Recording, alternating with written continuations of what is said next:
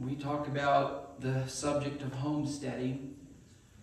I had mentioned uh, one of the meetings, and I don't remember which one it is now, um, about the importance of what is needed when we talk about homesteading. There's three major areas. There's a lot of things that goes within the boundaries of those three areas. And we're just going to kind of try to cover through some of these three areas. There is no way we can completely, you know, cover it totally, but we're going to look at it. And those three areas are shelter. It's not too fun to live on a homestead without a shelter. And believe me, we have seen everything you can imagine on homesteading ideas when it comes down to shelter. And we actually watch this program. It's on computer. We don't own a TV, don't want to own a TV, but we do have a computer, and there are different, you know, real interesting programs on homesteading. And that's really how we found out how things have got crazy. Um, because we've been doing this for years. I mean, literally for almost 40 years in our, our life experience. And um, we just thought it was a way of life because that's the way we chose to live, because we thought things were coming, and we still do. And, and all of a sudden, Chris found these programs on homesteading, so we started watching them. We'd try to watch one at least once a week um, just to see where the barometer was, what was going on out there. And we were we were kind of quite surprised and quite shocked to tell you the truth. Um, a good friend of ours that lives in Missouri, she's a big rancher, and her whole family's been into big ranching, and um, she is highly educated in government agriculture. And um, we were visiting not long ago, and there's an old girlfriend of my wife's from about 40 to 45, well, probably about 45 years ago, when they grew up together, went to college together. And when they got back in touch with each other after all these many years, my wife and, and this lady began to start communicating and talking and visiting. And so Amy asked Chris, well, what are you and Ron doing now? And said, well, we're kind of homesteading. And she just kind of shut down. Um, and Chris couldn't figure out what in the world and why she would just kind of shut down and didn't really want to talk about that, and she so she'd move away. Well, after a period of time of visiting with her, we began to realize why she was shutting down because out in Missouri, like there is in a lot of places in this country, people that have gone to the land and call themselves homesteaders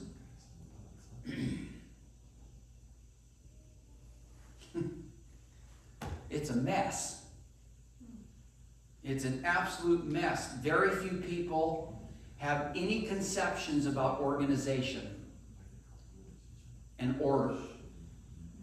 They think going to the land, they don't, they don't care what the land looks like, what they turn it into is an absolute nightmare. And so, it's like last night when I asked the question about when you when you mention homesteading, where are you at? Because it's very easy for me to offend people, and I don't mean to offend anybody. But I'm not into trash. I'm not into being a dump.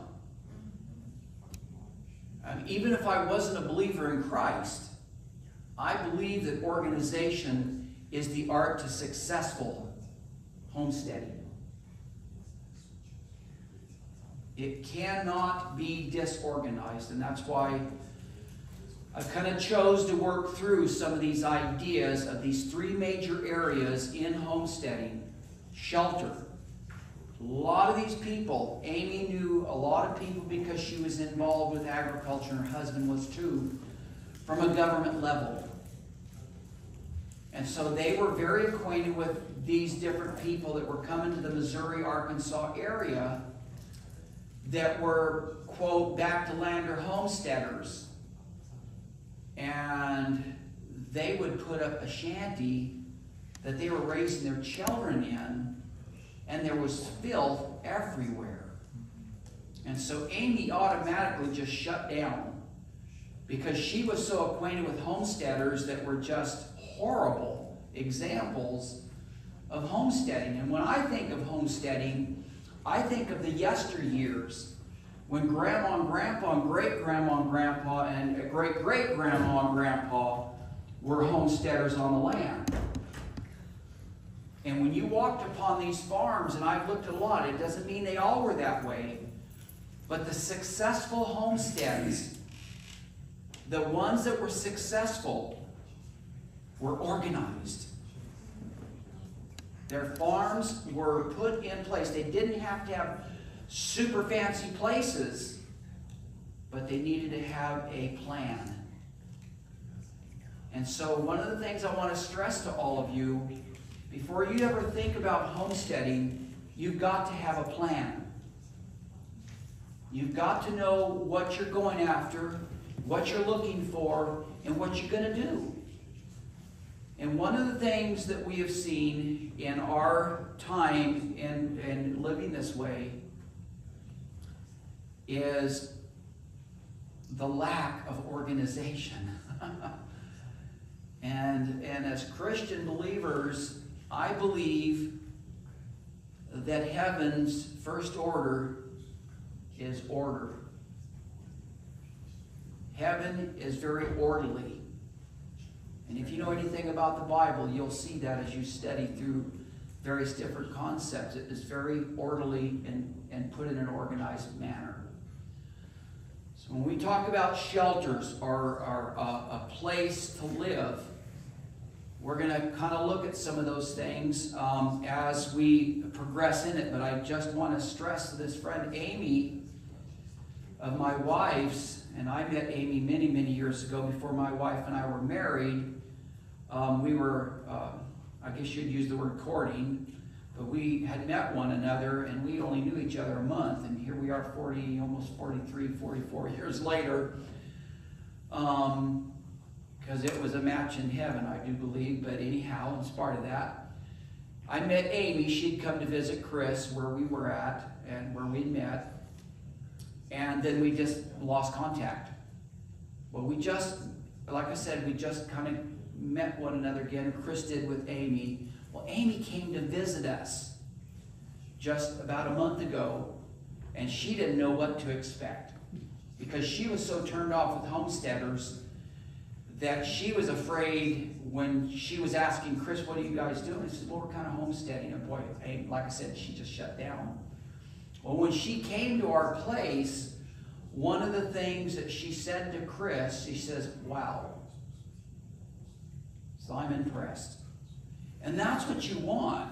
You want the public, you want the people to be able to see what you're doing is a testimony of positiveness. All right? Doesn't take a lot of money to do that. Well, yeah, it does. but it takes just simple vision and organization, is what it takes.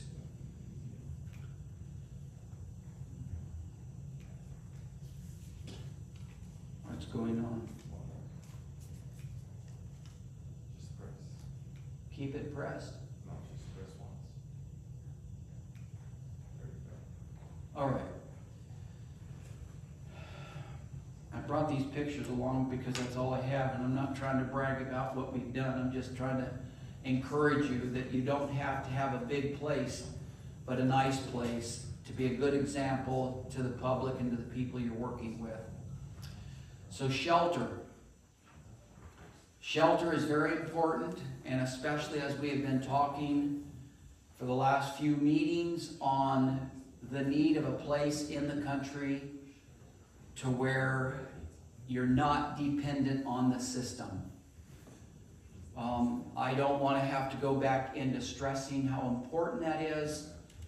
Um, if we have been listening to things, we have somehow got to get this wrapped around our mind. The system isn't always going to be the way we've had it. it's going to come to a screeching halt. In our state of Kentucky, and I don't know what's going on down here, I do to some degree because I drove in here and I saw wow, wow, wow, wow, the people everywhere. And what that means, like it's happening in the state of Tennessee, in the state of Kentucky, it's actually within about 10 to 15 states from the Rockies this direction, all right? In the states that we live in, and of course, the southern states, even the northern states, are the oldest states within the Union. Meaning that there's what?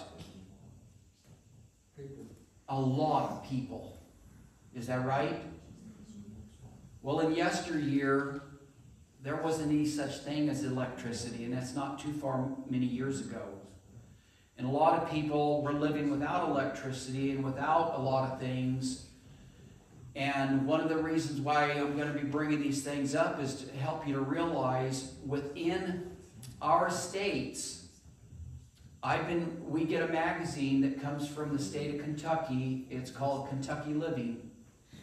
I don't know if you all have one of those like that down here or not. But the CEO of the electric company of these major state co-ops of electricity power you understand what I'm saying? Yeah. There is a huge cooperative. And these huge cooperatives are blended together as a union, if you please. And the CEO, that is the CEO of this big cooperative, writing these articles in Kentucky Living.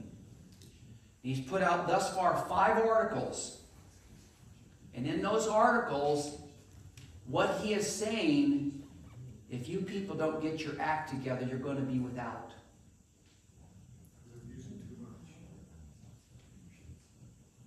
There's federal mandates in this country right now from the federal government to shut your coal plants down, to shut your, uh, your nuclear plants down, and find alternative ways of creating power. Anyone know the name Elon Musk at all in here? Yeah. You know what he's saying? And he's the big guru of the electric car system and many other things, and he's a very scary man. What he's saying is there's no way our grid can handle this. The change. Do you comprehend? You're saying. Is it hitting home at all? You're saying you can't handle the change, right? It is not, no way prepared in any way, shape, or form to handle a, a, a system of electricity. The demands of the demands. The CEO of Kentucky, and again, like I said, I don't know what's going on down here uh, because I don't keep up with it all. But this huge cooperative is saying we're in trouble. This is no joke, and I'm not saying this to put a paranoia on you. But you could wake up tomorrow and this is gone. They're telling us right now, as I speak today, that they're going to start creating mandatory blackouts within these states.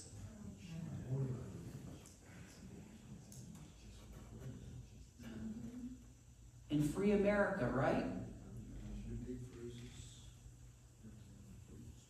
mandatory blackouts they've given us within five years. Within five years, they want the coal plant shut down and the nuclear plant shut down.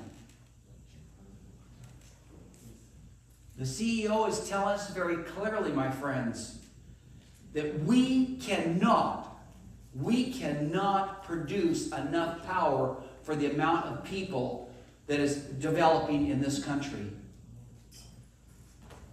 We are running out. So, what does that mean to you? I mean, this is just one area. Another area we're going to end up talking about is your food source. Do you know what's happening across the country right now just on that subject alone?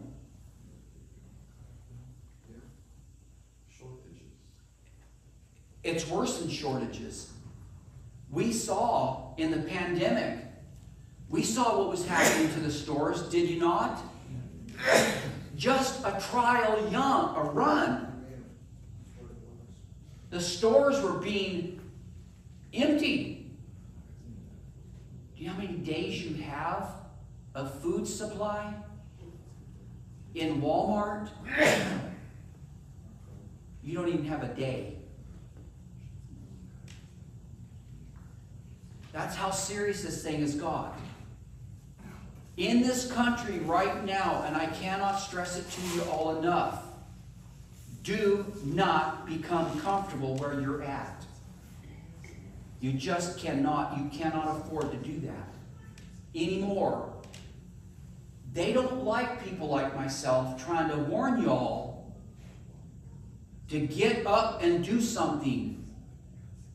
It's coming, brethren. Whether it's the end of the world or not, I don't know. But I do know we're facing a crisis in this country like we have never seen. We used to have five years, five years of food reserves in this country. You know how many we have now? We don't even have a month. The Federal Reserves of Food Bank is gone.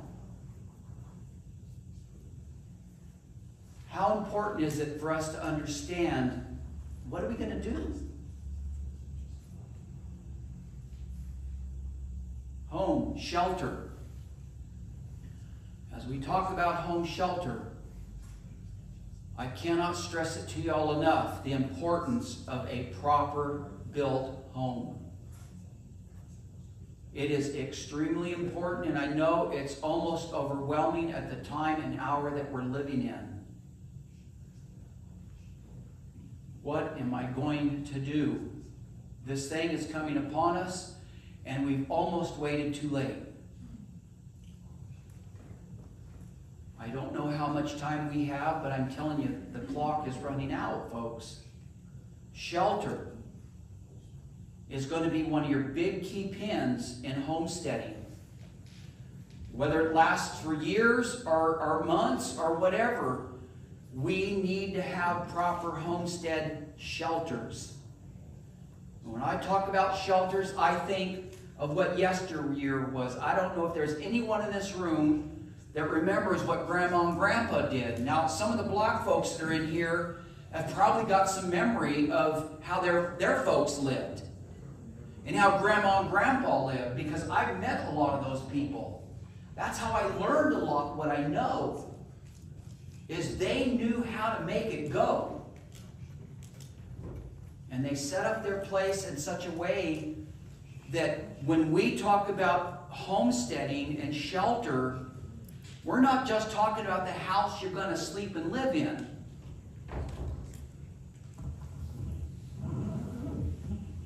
For instance, when we talk about a shelter, that shelter has to be set up to be able to handle the winter and the summer months.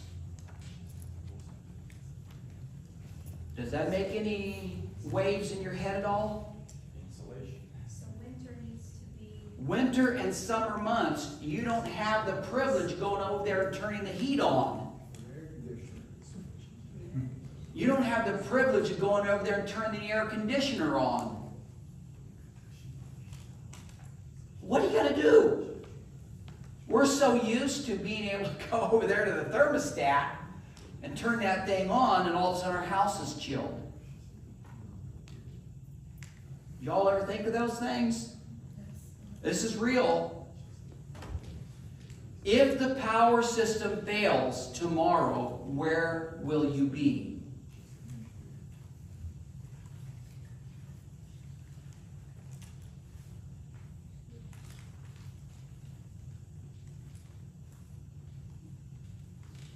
Probably all didn't think I was going to talk about these things about shelter, did you?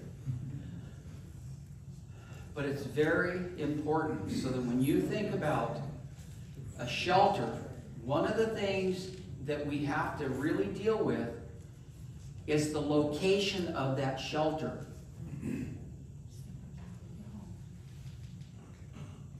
The location of that shelter means everything to you. When you're homesteading, you just don't want to just build it anywhere.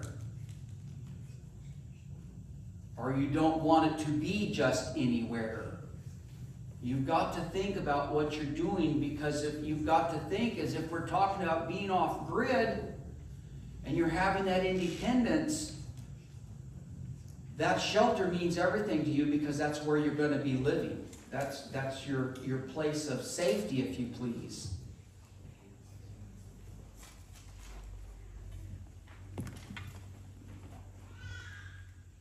When I think of the shelter, I think of two things when it comes down to homesteading.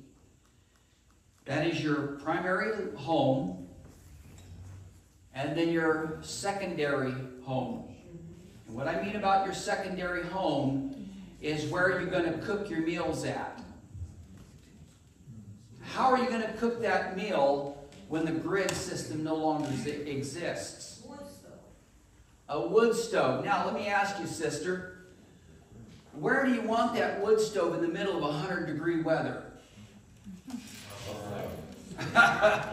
you don't want it in the house because you're going to be sweating big time.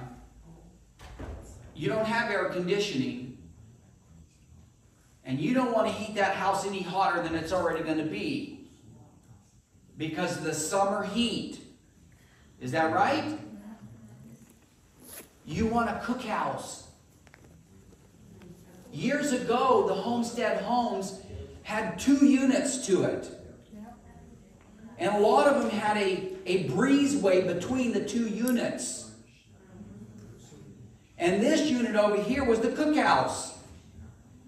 And it was full of windows or screening. It was used primarily during the hot season of the year. In the cold season of the year, they helped heat the house by the wood cook stove in the house. Because you've got to think outside the box. We have been so broken down and so brainwashed and taught what we live like today that we don't even know how to compute anything otherwise.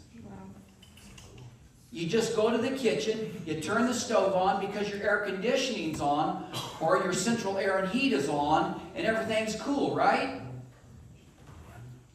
Turn it off and see where you land. Turn it off and see what happens to you. You won't be able to cook a meal. You won't even be able to stay in the house because it's going to get hot because it's not even insulated properly. Now, so when we talk about shelter, I want you to think of these things. You've got to have your, your, your home, and then you've got to have your secondary home. The secondary home is your cookhouse. Now, in that cookhouse, like I said, it's predominantly used for the hot period of the season. It's not going to be fun even at that to cook on a wood cook stove in that kind of weather. And especially if you're down here in the south. But you surely don't want that wood cook stove in your home when you're cooking a meal, whether it be breakfast, lunch, or dinner. Or supper, I should say. According to what I was saying yesterday about the dinner and supper time. so, Think of that through. Now, this home that you see up here on the board or up on the screen, um, I've been building homes for a number of years, and I built all of our, most all of our homes that we've lived in. And one of the things I want to explain to you all about a home is you've got to think outside of the box. These modern homes today are not made for homesteading. You think of your home. And you think seriously about how you're going to heat that home when it's all chopped up. It's got walls everywhere. And the heat can't be distributed through that house with a nickel if you're depending on a wood stove to heat your house. Yesteryear, these homes that were built in the years gone by were built efficiently enough to where the heat was centralized in that home so that it would heat the home balanced more. You follow what I'm saying? These homes today are all built for AC units and central air and heat. They're not built for homesteading. Get this modern mentality out of your head. Get back to yesteryear. These homes that I've built over the years are all built on the homestead mentality. Very modern components. If I had pictures of showing you the inside of it, you'd probably be quite surprised. And maybe someday I'll do that. But the inside of the house is set up if we have the grid or if you don't have the grid, you still have your nice, of course, we're off grid and we're totally solar, and we'll talk about that as, as we move. Is that your home inside is set up in such a way that your heating system is centralized in the center part of your home. So your kitchen is put in the central part of your home because our wood cook stove is our heating source. And these modern wood cook stoves today are amazing. They're not like yesteryear. These new ones are super efficient and they're amazing size of wood box that you can load it up and it'll be there all night long. Kitchen Queen is the top of the line. They cost a little money, but you'll be blessed more than I can tell you. There's all kinds of them, but Kitchen Queen is the top of the line wood cook stove, and it is amazing. One of the things that we've worked through in these homestead homes is that your, your heating source has to be in the central. Now you can see the, the chimney up there in the top. Um, it's right near the center part of the home so that when the stove is going, the heat is distributed like this throughout the home. Now the home itself, inside, is all one big open room but the bedroom and the bathroom and the laundry room. And you really don't have to have a lot of heat in those, areas. And if you open the door to the bathroom in this home, that heat from the main central home goes right into the bathroom. And it keeps that bathroom really nice and comfortable so you're not chilling when you've taken a bath, all right? Or a shower or whatever. Now, one of the things that we have seen in, in that, that homesteading concept is the, the absolute necessity. And one thing we learned, and I learned this by um, really trial and error, I suppose, is in that home, um, we lived for a number of years uh, amongst the Amish Mennonite people. And if you know anything about these people, one of the things that I kept wondering, this was years ago, how come most of them, at least the communities we lived in or around, why they never had a chimney on the outside of their, their house, their unit? Now you look a lot of these people in the homesteads, and their chimneys are all on the outside wall somewhere. And I was going like, hmm. I said, what in the world? Why do these people? So I would go snooping and I would start talking because these Amish people we were acquainted with were all off-grid people. Uh, they didn't even have solar. And so the first number of years of our homesteading, we were totally off-grid. We were kerosene lamps and everything. And so one of the things we found out as we, we started visiting with some of these people, they told us very clearly, and they've been doing this for hundred, hundreds of years. This wasn't something new to them. But it was to a lot of us because we grew up in the city. We didn't know anything about homesteading, really. I mean, that was just a house on the prairie thing.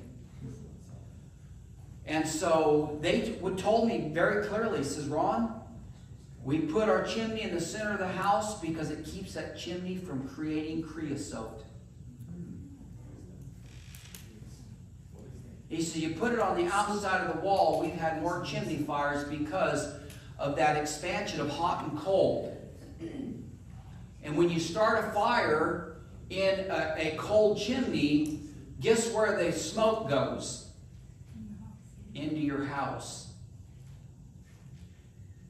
He said that chimney has to get warmed up before it really starts drawing right.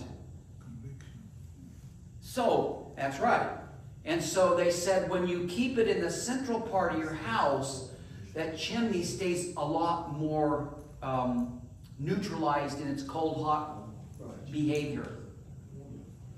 And when we start fires in the morning, you know, that, that stove doesn't put all the smoke out into your house. And I said, wow, what a thing to learn. Just a simple little thing that we're not even acquainted with. The other thing they said, we put our chimneys in the central part of our house based on the fact that it keeps the house warm in every direction.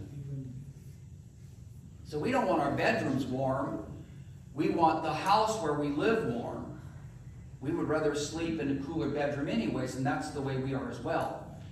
So, one of the important things about home structure is how that home is built.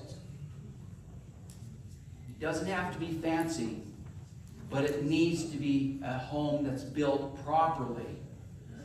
All right, now one of the things that I want to stress to you in, in home structure building is keep it simple.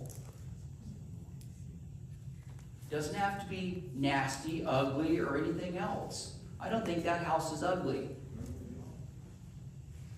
I put a lot of art into those homes, and I'll be honest with you, I was a craftsman and I love doing woodwork. And so my homes are all post and beam. Would, would this approach work on a two-story house? Absolutely. And I'm going to show you that, ne- that next picture. That's a two-story home. That's an 1,800 square foot home. Two bedrooms upstairs, a full bathroom upstairs, a study upstairs, and downstairs is basically laid out with a bit, it's, it's all open.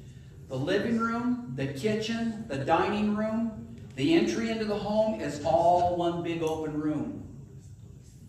All post and beam. It's beautiful. I mean, I, I know I sound like I'm bragging, but I'm sorry. I don't mean to be. I just like something when I build it. When you walk in, you go like, wow, this is nice. And that's what I want because I built my homes to sell.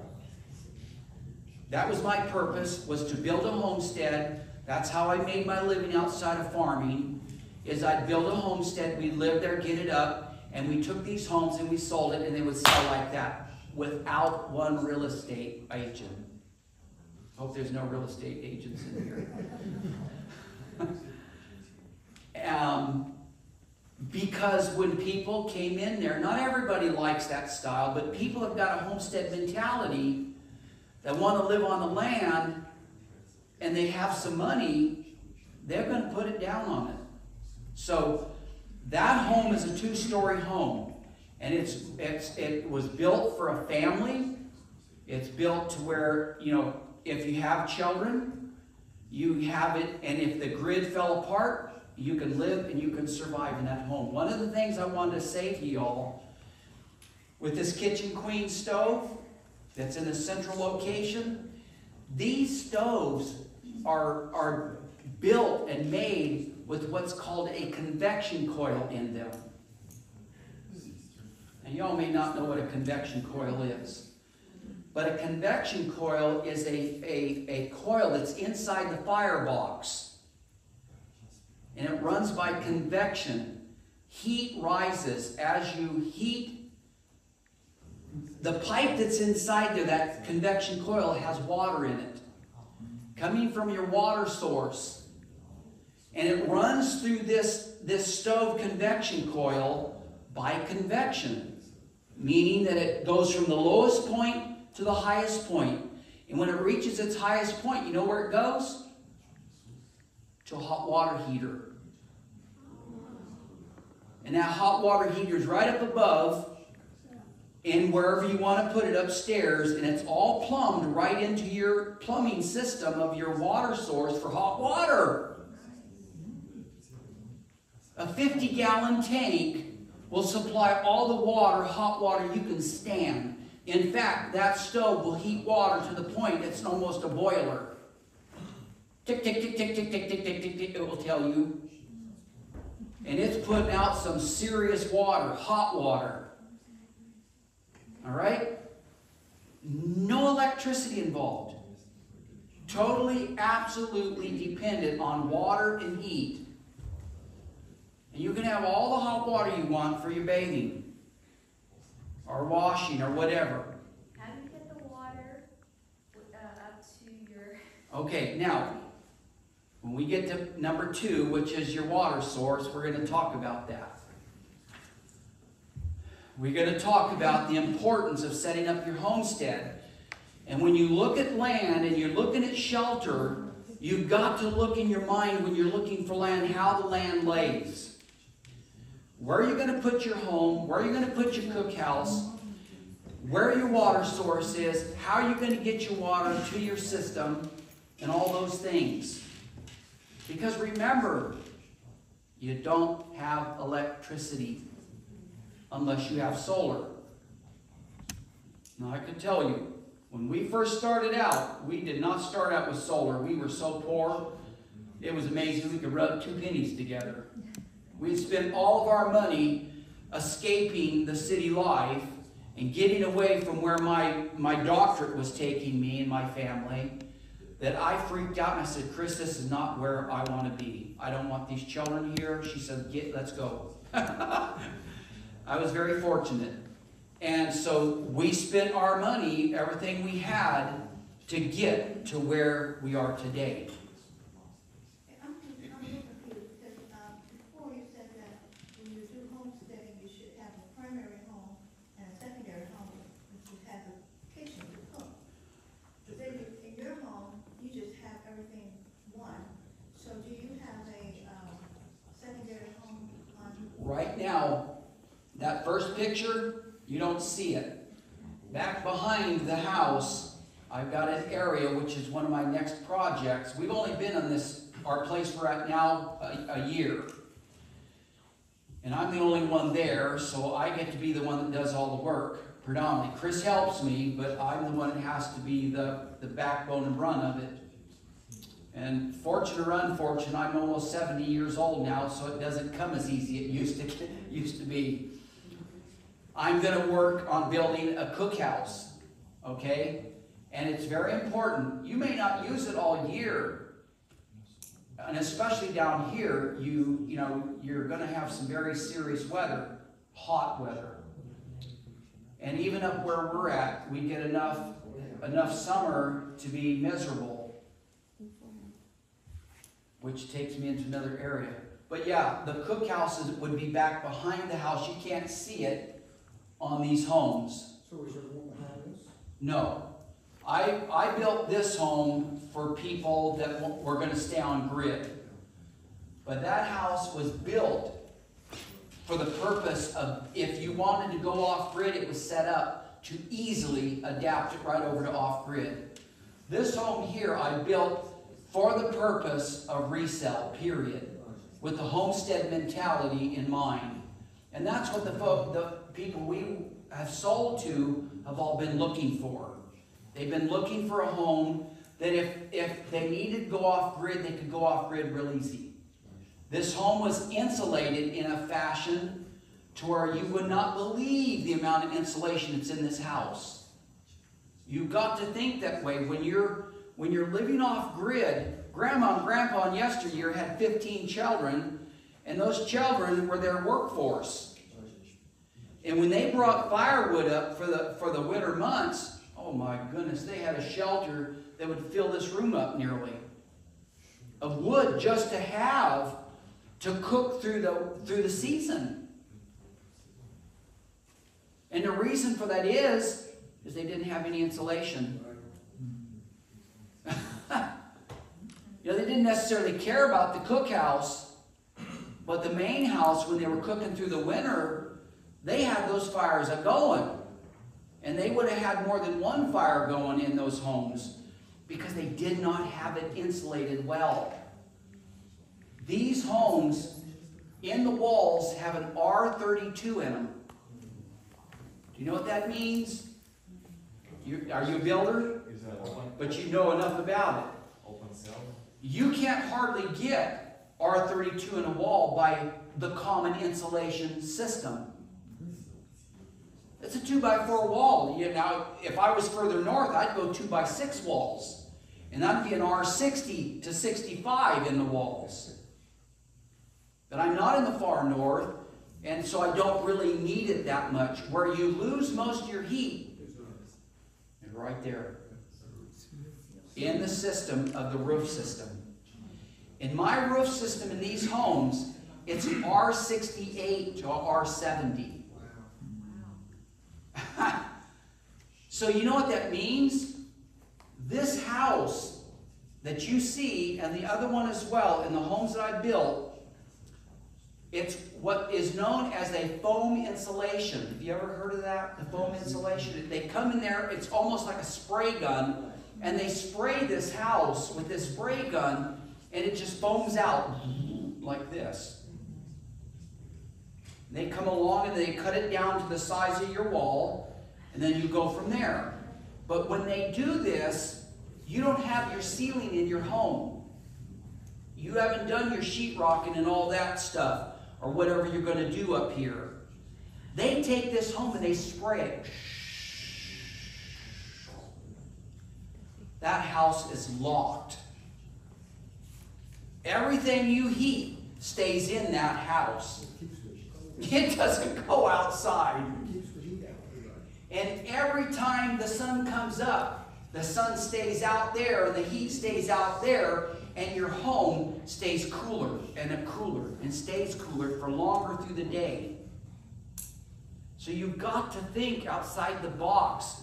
It costs you more, it's almost double the amount of cost to have it done, but you got to think out of the box and, and, and tomorrow. What's going to happen tomorrow? You don't need a big house. That first house you saw, this house is 1,800 square feet for a family. That first house is a 1,000 square foot home, and it's perfect for a couple. Now, Regarding insulation, isn't that very toxic? Because I'm concerned myself with the toxicity Yeah. with reference to these insulation stuff.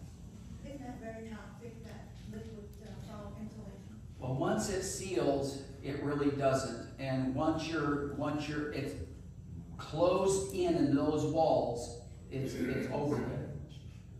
It doesn't leach through the sheetrock or anything else.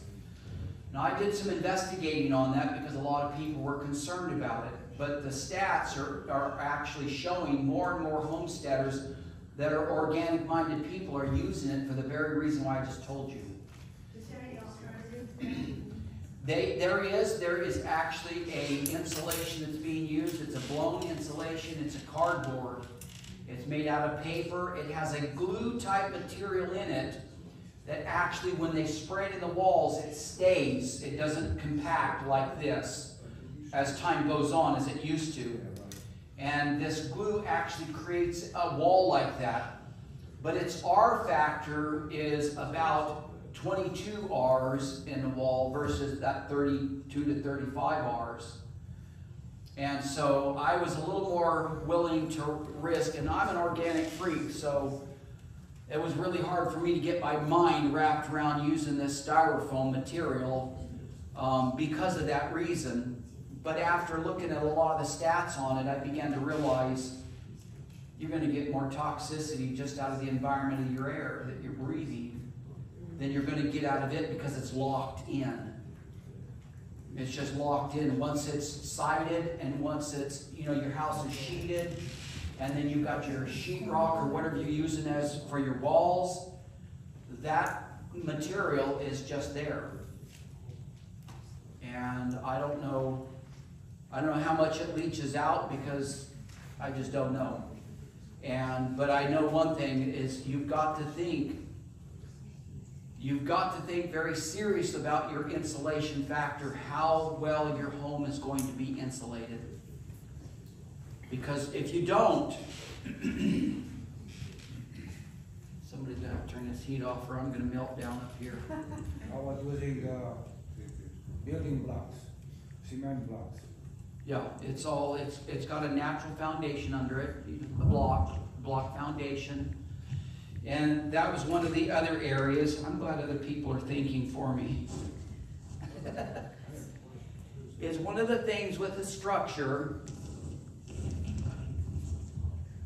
is the importance of how you build that house and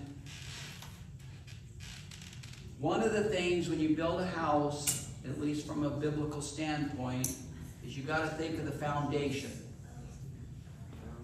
When you think of the foundation of your home, in yesteryear, they put a lot of these homes up on posts. And there was a good reason why they did that. I understand because it allowed air to go underneath, but you remember these houses were not insulated. So they were looking for every way they could get to get airflow to keep that house a little cooler. All right? Well, I don't worry about that anymore because we do have the science of insulation. And so when I build these homes, you know, just for your own information, there is a regular foundation, block foundation in this house, but I build these houses, as you can see, on some of the pictures, you can't see it too well, but in these pictures, If you look at the wall, that's, that's the foam insulation. Okay, that, that's the stuff. Very good. And it's amazing. I am not kidding you. The, the sound barrier you have alone in these homes, when it starts raining on a tin roof, which is another thing we'll discuss here in a little bit, on a tin roof, you can't even hardly hear the rain anymore. Wow. And the yesteryear, when I started doing this, you know, we just had the fiberglass insulation to use. And when it rained, honey, you couldn't even hardly talk to somebody. It was so loud in that house. You go like, come on, Lord, turn the rain off. but in these homes, it can rain cats and dogs. And you just don't hardly hear them. So it really is a tremendous sound barrier for your home with the benefit of super insulation. Thank you. That's, that's good. You can see how they cut it off. Course, before you do that, you've got to make sure your plumbing and your electric's all done. That's if you're going to go with, you know, a solar electricity system. That's all got to be done because you can't do it once it's foamed. Everything's got to be done before that. So, I'm getting a little ahead of myself because I really should have went from the foundation up, but when we look at the foundation, I want to make sure, you know, in the yesteryear, when we get into this food, food issue, which is the last one, we'll be talking about root cellars. In the yesteryear, Grandma and Grandpa had root cellars, and that's where they kept a lot of their goods down in the root cellar because it kept it neutralized because the temperature of the earth stays pretty stable. All right? In these homes here, instead of building a root cellar, I had what's called a crawl space. I'd build these houses up tall enough to where you were up tall enough to where you had a nice crawl space that you could get underneath there. You could store all your potatoes. You can store all your, your, your winter squashes. You can store apples. You can store canned goods. All these things. And you got this whole space just going to waste. And I said, this is nuts. So I, I had a guy come to me when I was building this, building this home. He said, man, the only thing I don't like about this home is too high up in the air. I said, well. I said, the reason why I put it that way. And he says, why is that? And I already had it built like this. And he said, that's the only thing I don't like. I don't like to have to come up these long, old, tall steps. And I said, well, I says, come with me. And I took him around there to the, the, the crawl space door. And he looked underneath there and he says, oh my. I had five gallon buckets of food enough to last for five years under there. Because what happens in the basement or in the crawl space, oh, son, you could crawl under and go to sleep in the summer. It's like air conditioner under there. And in the winter months, because of your heating your home, I don't insulate the floor in my homes because that heat radiates into the crawl space enough to keep anything from freezing. And so you got this really neat situation because it's going to be wasted space one way or the other. So if you build it with your mind thinking, let's build it up tall enough to use it as a root cellar. So you just have the food sitting in on the ground, or do you have? Well, I have plastic, you know, you, you put the plastic on the, on the ground, you know, to keep any kind of moisture from ever coming up or whatever. But I have it either in bins or in buckets or in, in like, like onions, for instance. I will take onions and I got it tall enough up off the ground to where I have nails in the floor joists spaced out and I'll take my onions that I've dried in the barn or the garlic and I'll take it and hang it up in, the, in those floor joists and it's just laying there in these baskets and when we run out of onions up top, I go down there and get another bag of onions. There you go. And those onions will be there until you run out of onions. Same thing with potatoes and a lot of other goods. You can put your, your bins, like carrots, for instance. See, I'm running way ahead. I'm having a hard time staying on track. You can take and build these bins and these crawl spaces, but these crawl spaces have got to be tall enough so that you can get in there and be comfortable with it. And, and work with it. Not about crawl spaces, but what about shade? Or is that, or am I getting ahead of? Shade for the home? Yeah. Yeah. And we'll talk about that one too, I guess. You just remind me. Okay.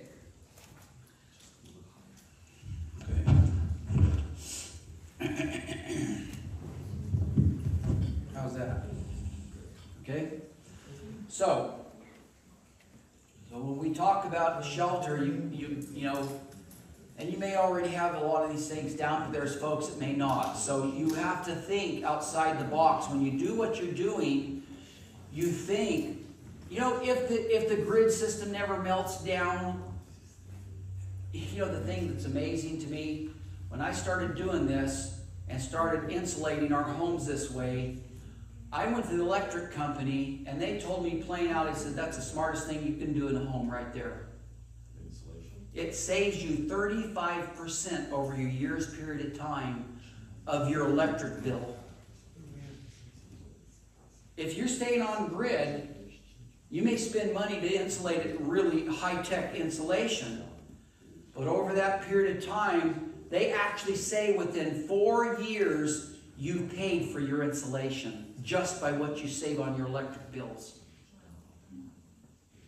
What if you lose of, of this insulation to the windows, the doors? What can you do?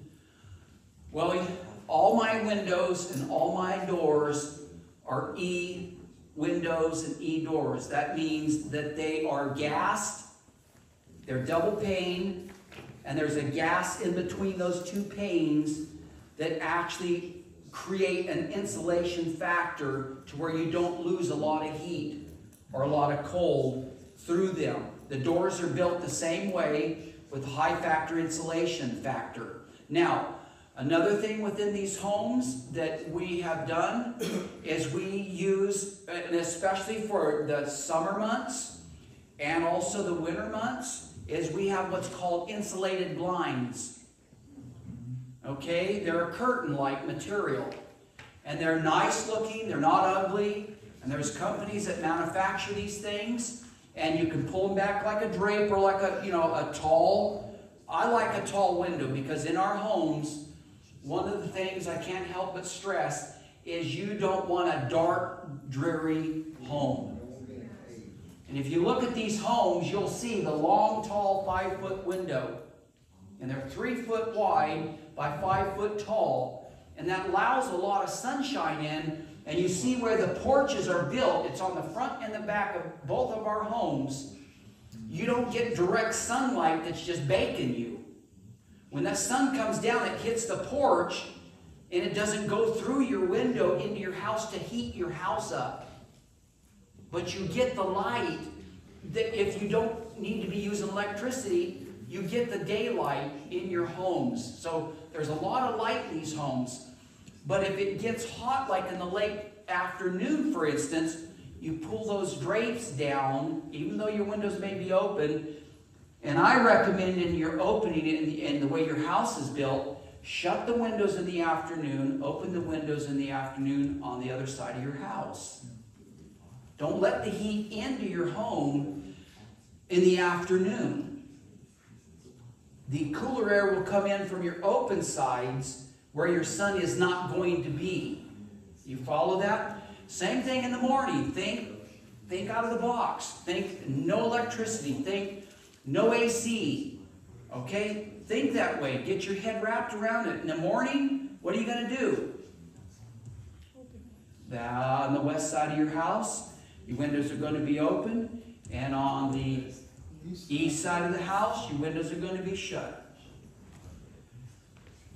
You're going to may have them on the ends here open because you're going to get circulation in there, but you build it to where that house is set up, just like Grandma and Grandpa would have done it, to where you have to manually control your environment. You don't have AC on the wall anymore. All right? A lot of these things, and I know it may get a little boring, but we've got to think these ways again. We've got to go back to yesteryear. We've got to get out of this mindset of where we put ourselves. Yeah, in my house, uh, I, we bought a bubble, a bubble wrap. different Oh, bubble yes, wrap, yes, uh, yes, yes. Put them in the window, then the window that the sun heat, I didn't put nothing in here. Good. And I see the difference in the bill. Oh, absolutely. And you understand what he said? Bubble wrap. In your windows, there is a bubble, a bubble wrap insulation. And I've known people, I'm glad you brought that up, because there's just too much to deal with in my poor little brain. is different folks, like, like he has done, they take this bubble wrap, and there's uh, uh, different ways of doing it. You can build, I know people that have built like a um, insulated um, panel and they take those panels and they put it away when they don't need them. And they take these panels and they have drilled holes in your woodwork. You can't see them hardly, but they're nice little pin. They put these panels into the into the window from the inside, and they pin it in two places, or you know, here and here. And they put these panels in there with this insulated factor. They use styrofoam, you know, this really thick styrofoam material. It's about an inch and a half thick. And some of them use the bubble wrap, and it knocks that heat out. And if you go, if you're in, in super cold climate, you do the same thing to keep the cold out. And then you can take them down during the day when the sun's a shining and all the rest of it. But you've got to think, I'm, I cannot stress it enough to you folks. You've got to think outside of the box because that box is just about ready to get blasted. How do you call that? What's that? How do you call it? Styrofoam? It's, uh, it's called bio, uh, it's a bubble wrap or a styrofoam. You can buy these styrofoams in 4 by 8 sheets. You get it at Lowe's or Home Depot, and it's about an inch and a half thick. And it's got like an R15 to an R20 in it. And you can take that and make these panels, cut them out. It'll sit right inside that glass window, and you just pin it, and it's there. And I'm telling you, the difference, I really could give you a hug. That was a good thought. that, that panel will absolutely save the heat. If you're heating your home in the winter months, you don't want all that heat going out your window. All right, so those are just things that you got to think. Just, just remember, yesteryear and tomorrow may not be the same. We may wake up one day and America will no longer be America. That's Right. At least not America that we've all grown up in. Is it okay to ask questions now? Yes, ma'am. Question to answer the end. Okay. No, no. So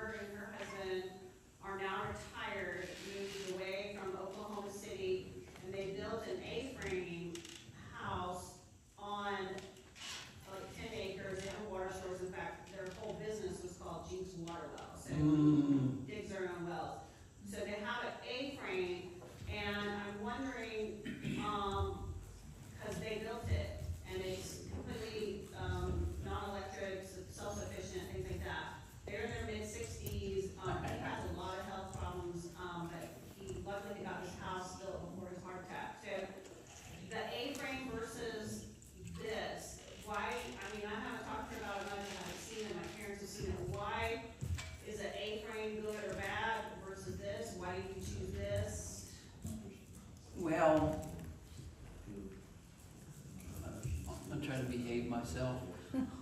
That's hard for me to do. No, go ahead, because I mean, like, my parents are thinking about doing it. I don't like A-frames for many different reasons. Can you explain that A-frame? An A-frame is a house that looks like that. It goes right straight to the, to the ground, or to your foundation. Look, what's that? They do it on snow, in colder area. Oh, they, they, So they, snow does- well, they serve their purpose, but so does this, or, it's- one of the things I don't like about it is you lose a lot of, of space. Amen. I've been in them. You just lose a lot of space.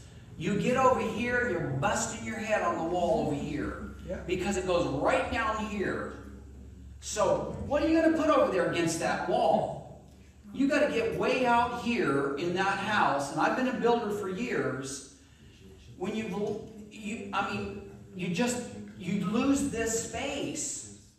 And so, you've gotta build an A-frame house that goes way up there just to get living space right down here.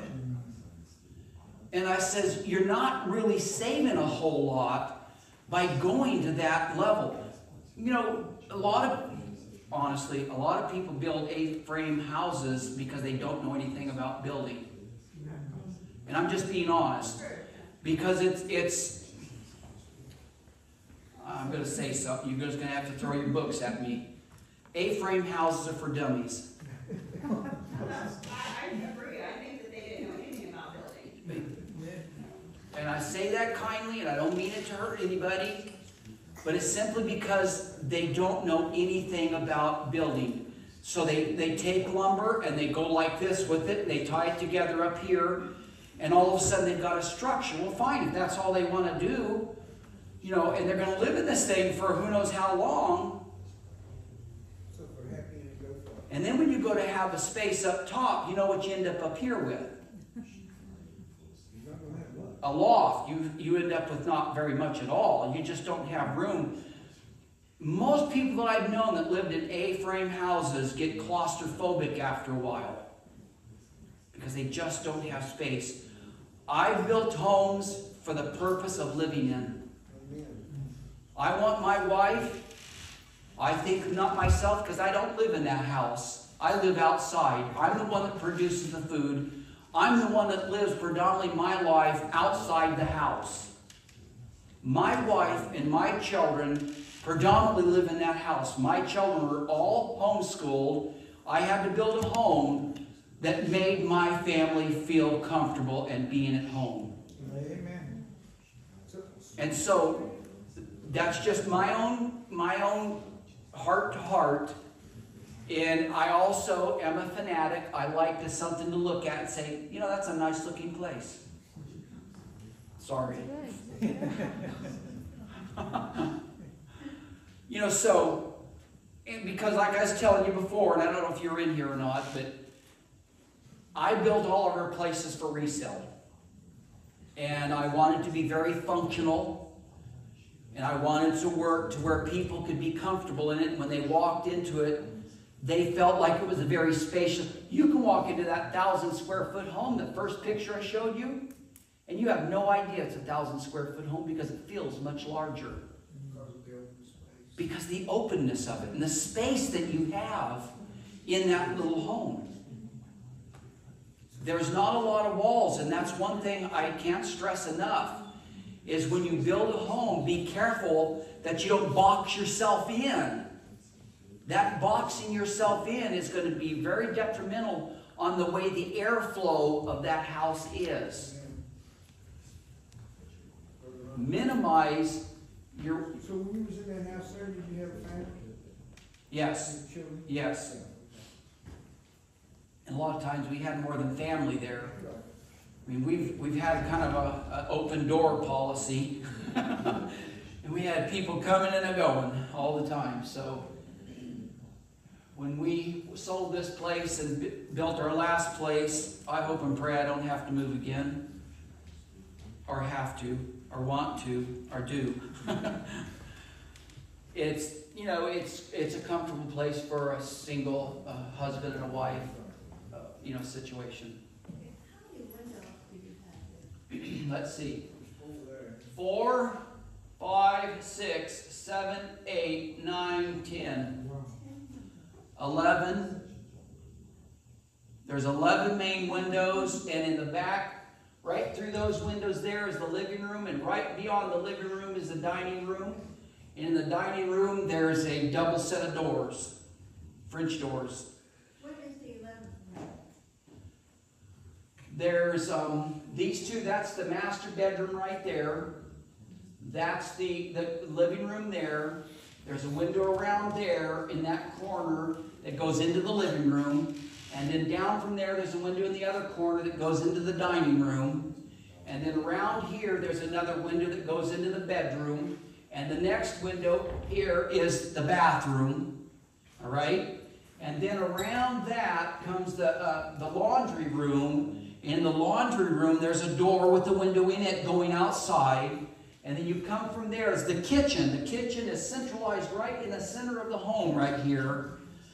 You can't see the chimney on this one, but the, the, the kitchen's right in the center. And right at the sink is there is another window going right straight out. And then up top on both ends here is a, is a window here and a window here. Bedroom up here, bedroom over there. Bathroom up there in the middle at the top of the stairs straight up. And then there, right next to the bathroom is a study. So that's about twelve windows? About 12 windows or so, yeah. So lots of, lots of window, lots of airspace, you know, circulation for air and all those good things. What could be the price of such a house? What's that? The price of this house? How much does it cost to build that house? Well, because I built it and I had no labor cost, but the- whatever I was doing, you got about a hundred thousand dollars into it. And that's turnkey. That's without any labor. I had very little labor cost. The labor cost that I had in this house was the people that came and ran the insulation. And a few, and, and the guys that did the metal roofing. Now, that's one thing I want to talk to you about, is the metal roofing. When you do these homes, you want to think about tomorrow, because when we talk about water source, you want a roof system that will catch water. You don't want these, these, these shingles that are being used today. Of course, they've taken asbestos out of them. But what they do is they break down over a period of time, and all those little particles of those shingles end up in your water storage unit. And it poisons your water. You don't want that. You think outside the box.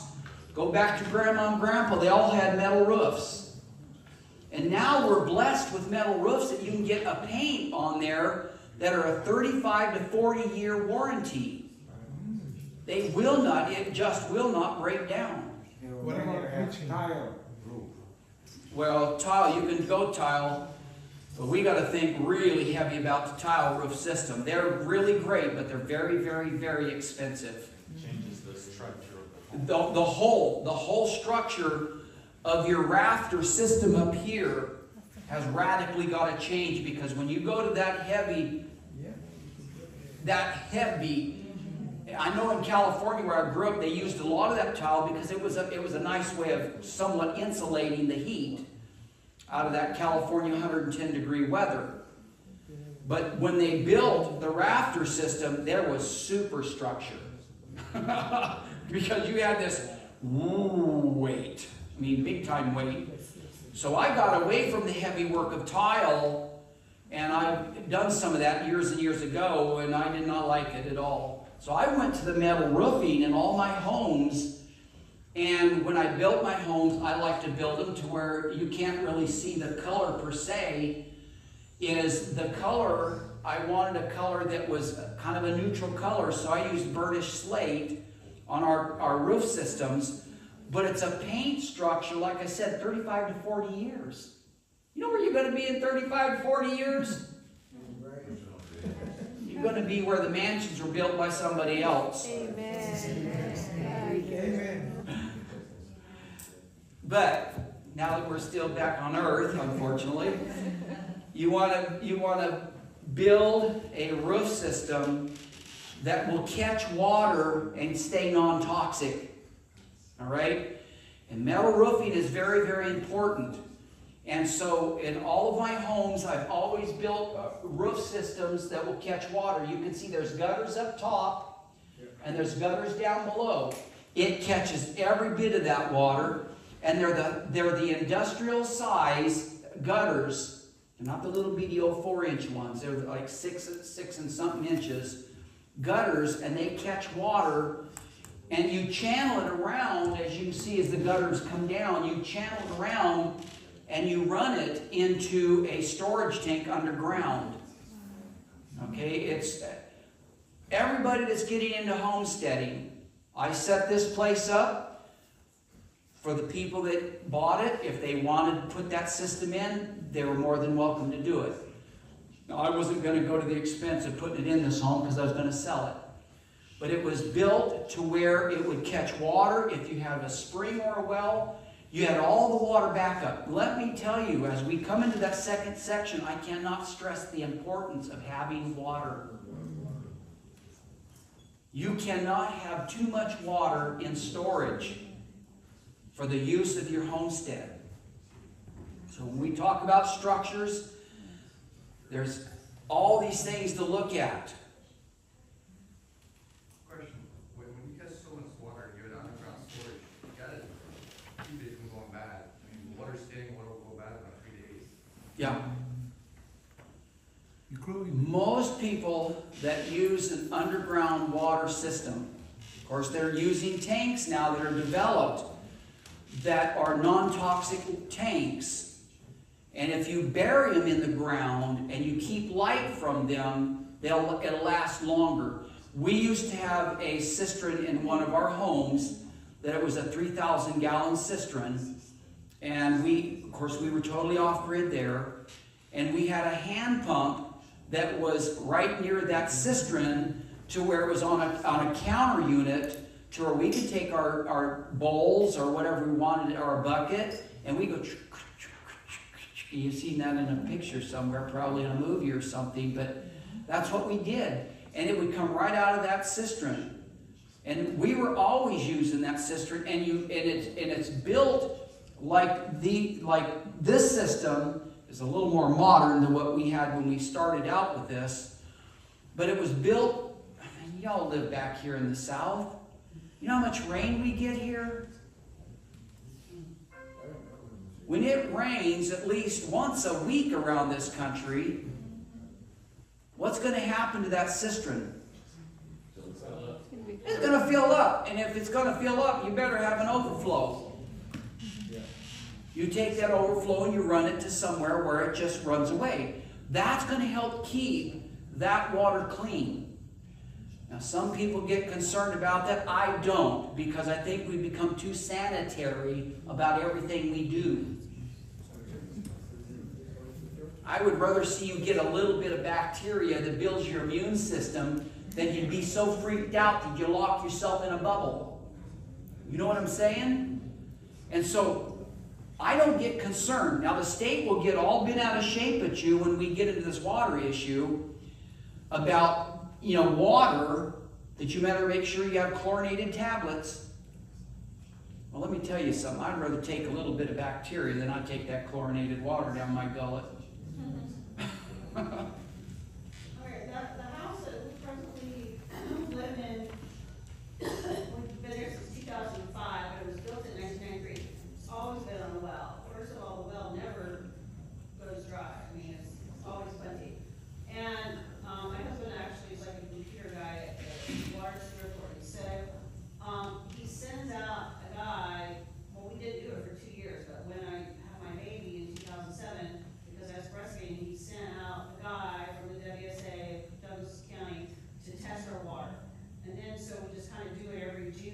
Yeah. because why not? The guy's gonna come and do it for free for us.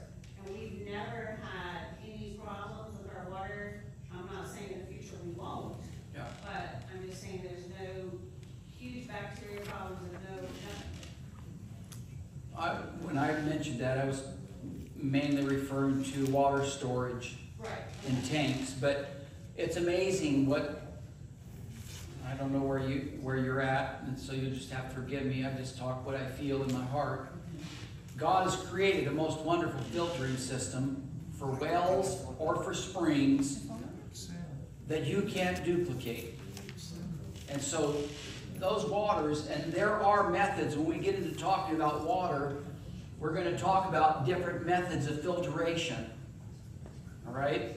But back to this before I close up. I don't know how long I'm supposed to go.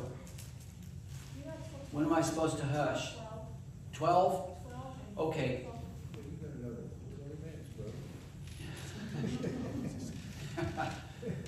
Yeah, okay. Um, if you need to take just a few more minutes break, we can take a break. I'm okay. Yeah. I'm okay. I think. Well, we can always take five minutes think. when we, now, when we talk about structure, I know there's a lot of things to look at when we're talking about the structures of your homestead home. And I'm just kind of trying to hit some of the, the, the basics for you. You may not want a style like this, you may want some other kind of style or some other kind of look. One of the things I did with these homes is I have siding on these homes that you have next to no maintenance on. You got to think, what am I gonna do about this siding when it starts cracking all up because I used wood siding? What am I gonna do when this vinyl siding starts cracking up because it's getting older? You know what I'm saying? So I went to the expense to go with what's called Hardie board. Anybody in here familiar with Hardie board? Oh, it's wonderful stuff. You know, it's a cement board, is what it amounts to, with fiber in it, but it's non toxic and it will not fire. I mean, if there ever was a fire anywhere around, it can hit the siding and it'll never ignite. I mean, it's wonderful stuff, and you've got years and years and years of it being there. Literally, it's on the outside, it's your, it's your siding, and it's got a nice look to it, it's got a nice lap siding look. It's even got a wood grain in it, it looks like wood. And yet it's there for years, and once you stain it or paint it with a proper paint, it's there for 15 years. You don't have to do anything with it after that if you've done it right. So, and it's, it's, you know, you just want to think those ways. When you build a place, or you're, you know, you may not be building a place, you may be just looking for a place, and we need to cover that a little bit too. If you're, you're buying some place that's already developed, what to look for and what not to look for. But those things you need to really consider. And remember, you know, try to keep it orderly as much as you possibly can. You have your secondary house, that is your cookhouse, that's outside of your, your main home structure for the use of those summer months of cooking your meals and preparing your meals. And it also may become known as your what house. When we get down there to the, the your food production, what are you going to use that cookhouse for? Canning. That's right, canning, preparation. Getting these food things prepared to put into storage. And you want to do all that outside of your house to keep your house from getting overheated. All right?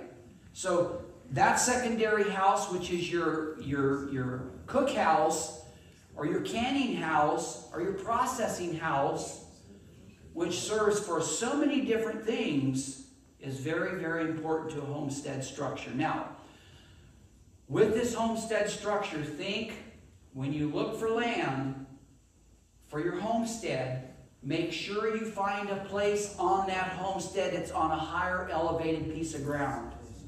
It doesn't need to be super elevated, but just elevated enough to where all your rain or whatever excess will flow away from your house. Uh, I have a question about that. So if you're on an elevated piece of land and land erosion is something that I'm actually curious about, because like your foundations, you know, as the land shifts, then it can erode your foundation of the house. Yep. So I'm curious to see like how the, how do you fit that into the home? I don't like building on super elevated land. I just like to build on a, a piece of land that has enough rise to it. You know, and it doesn't have to be much of a rise, but just enough rise to, so your water doesn't sit around your house or around your structures. Because that's gonna create mold, it's gonna, it's gonna create disease, it's gonna create all kinds of problems. So make sure that house structure and your secondary house structure is at least a bit elevated from the rest of your land if possible. You don't want to build a house with a mountain sitting in behind you like this because that rain's going to come down off that mountain and you know where it's going to end up. Right in your yard. and eventually in your house because it will sop the land with moisture and that moisture will find its way underneath your house.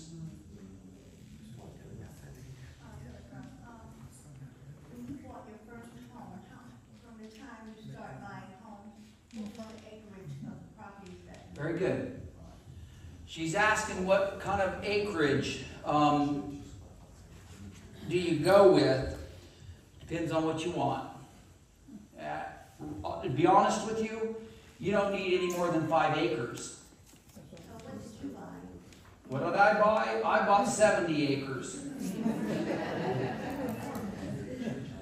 When I first started and I left my private practice, I bought five acres.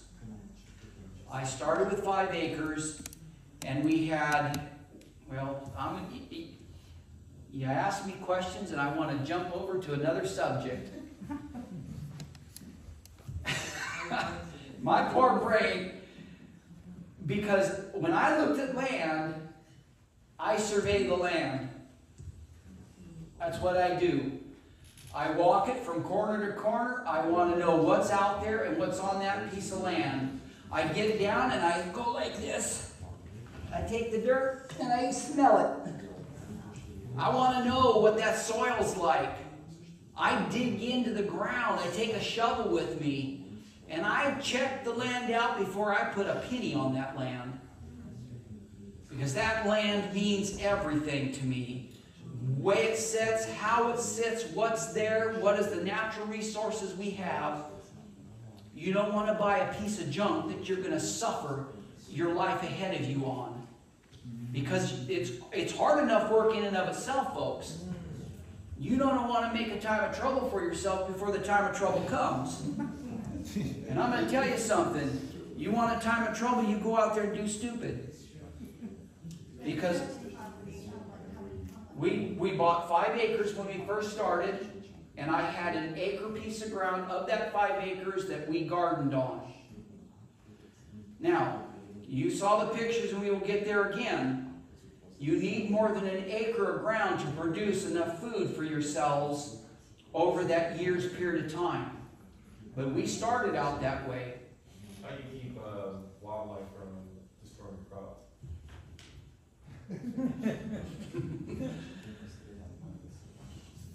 Yeah, yeah, no, that's, I guess that's the way. And then we had a real good dog. Every homestead needs a good dog.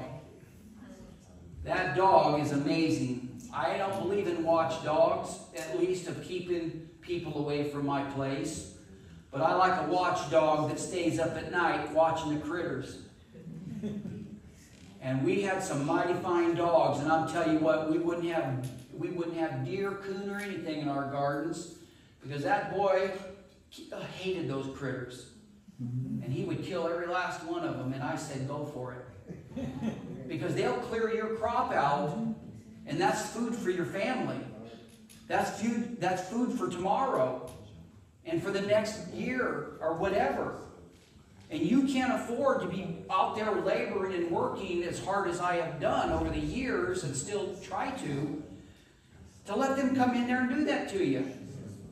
So, my recommendation in the sense of how do you keep the critters out, get you a good dog. Get you a really good dog that has some good training. Spend some money on a good dog because it's worth every penny of it. It really is. What kind of a dog? Well, there's all kinds of them. I'm not going to give you any recommendation. We, we used a number of different ones over the years. They don't have to be a big dog. They just need to be a dog that has enough fight in it to say, uh-uh, we're not putting up with you. All right? Okay, so we do the, like about an acre and a half of garden, but the main problem we have, um, is blueberry, like the blueberry bushes. We have ten large blueberry bushes. So this is a trick you can do because the birds, I mean, you're not gonna kill all the birds. The birds are gonna eat the blueberry bushes and the deer. So you buy at the Dollar General store fake snakes. And I have fake snakes all throughout my blueberry bushes, and the birds will not go anywhere near your blueberry bushes at all. All right, when we get over there into food, we're gonna talk a lot more of all those things, and I really appreciate the input. But to keep on track, let's stay with shelter as much as possible. I am having a hard time doing the same thing, folks, so. When we deal with structure and we're talking about your homestead, keep in mind those things that we're, we've discussed. And when you set up your homestead, set it up to where your secondary home is as close to your main home as possible because you don't want it. And if at all possible, create it close enough to what the old homesteads were like, that you had a breezeway between. Because when it's raining, you don't want to have to go walking through the trudge over to the cookhouse or whatever, or, or you know what I mean. So just kind of create it. Now, if you do not have the ability to build, and you may not have the finances, maybe even the time to do it, or have it done, then what are you going to do? I'm going to tell you one thing not to do. Do not buy a mobile home. Period. You're better off going and getting a mini barn and living in it. And insulate it and do that. These mobile homes are not made for homesteading. I'll just tell you that right here and now. You cook to death in the summer, and you can't hardly keep them cool enough in the summer, and you're going to die inside there. And in the winter, it's really tough. It's not as tough as it is in the summer, but those mobile homes are just not made for homesteading. So when you look for something and you're looking out in the country, remember we're thinking about getting out of the cities, getting out of the, the villages, and getting into the country, as this once was and no longer is. Look for a home that is suitable and when you look at a home that is suitable, make sure you spend some time investigating that home underneath, the foundation of it. Is there mold in the, in the structure? Make sure that you check this house out really well because you're going to have to live in it. And here in the South, mold is a big problem. You do not want to be living in a house of breathing mold spores. It will destroy your health.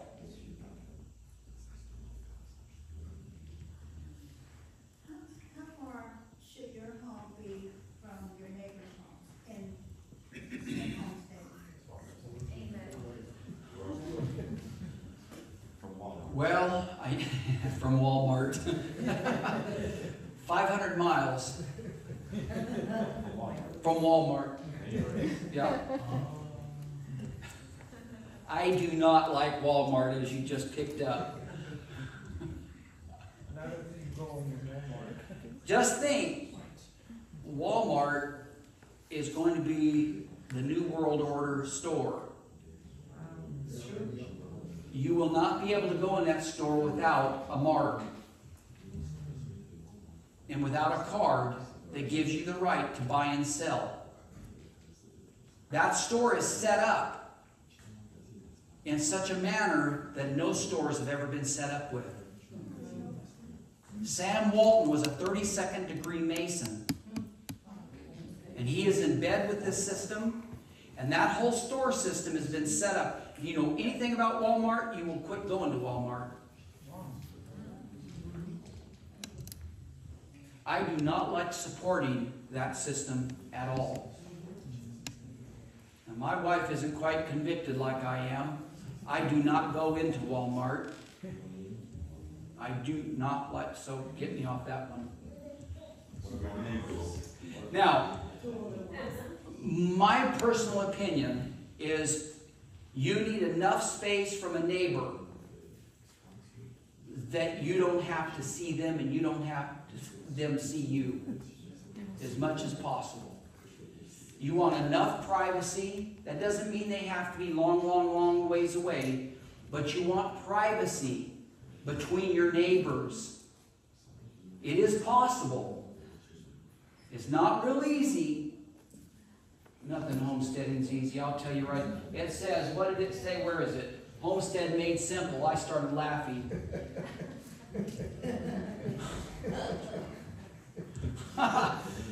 Woo, doggies, there's no simplicity about it. It is tough. It is a lot of work, and it takes a lot of determination, it takes a lot of guts, and it takes a lot of conversion. But it is not simple. But what if you have, um, if you're on a, you know, a road, and you have bushes that separate, you know, your neighbor and you, even though it may be, you know, it's not close, close, but, uh, what, what happens? As a believer in what the Word says, I know there's coming a time that's called a great time of trouble, Daniel chapter 12, verse 1. We know that that time's coming, but we don't need to make a time of trouble for ourselves before it is. I think we are a living witness to our neighbors. We need to set up an ark. As I told you that first night, Friday night, Noah was given a commission to build an ark. He didn't go hide. He was a living witness to his neighbors in hopes to bring salvation to them. He didn't want to be like his neighbors, did he? I don't, I don't think we need to be isolationists. I'm not into that. I don't think we belong as believers, as isolationists. We need to be a living witness. But I do believe our witnesses, and every time we swing that hammer like Noah did, it told a story. What you're doing on the land, believe me, people are watching you with hawk eyes. They're watching what you're doing. They're watching to see whether you are, are a, a hypocrite or you really believe what you say. You know what I'm saying? So your neighbors, I don't know how to tell you how far to be, be, be away from your neighbors. I want to be so far away from neighbors, I'd like to be a hermit. But the Lord told me to do something otherwise, and He got me to come down here, didn't He? I disappeared for years. I, this is the first time I've been in anywhere to speak in over 50, near 12 to 15 years. But somehow the Lord, by some sister sitting over there, called me and asked me if I would do it, and you would not believe what happened to me when she called me. I said, Lord, what are you doing? so, I don't know how far you should be away from your neighbors. I'm just saying you need to be a living witness to your neighbors. What you do on your piece of land, whatever the size of it is, needs to be orderly, it needs to be attractive, and it needs to be a testimony every time you swing that hammer like Noah did, that it told the story of the everlasting gospel. How did you deal with COVID? Of what? COVID, COVID, during the time of COVID, were you Oh, separate? I didn't even know there was such a thing. Yeah, I mean, it's the truth. We never, we never dealt with it. I mean, we lived and lived like we'd always been living and, I mean, I don't know if anybody in this room knows anything about Y2K. Now, y'all are old enough to know what Y2K was. You remember what happened in Y2K? Yeah. Watch the game on this. Oh man, everybody was freaking out. Yeah, Everyone, the end of the world's coming. The grid's melting down, and the computer system's going to be wiped out. You remember that? We didn't know a thing about it. We'd been living this way. People would come to us and say, Ron, why are you living this way? I said, because I love living this way. So you didn't do it because of Y2K? I said, man, we've been doing this for years. We didn't know Y2K. We didn't care. Our whole grid system could break down and fall apart, and we still just kept plugging along. You have solar, you don't have solar here? On this home here, we did not, but I set it up for it. If the people wanted to put the money into it, they could. No, the home I'm at now, let me jump real quick and I'll show you. You weren't here the other evening. You know how to go backwards?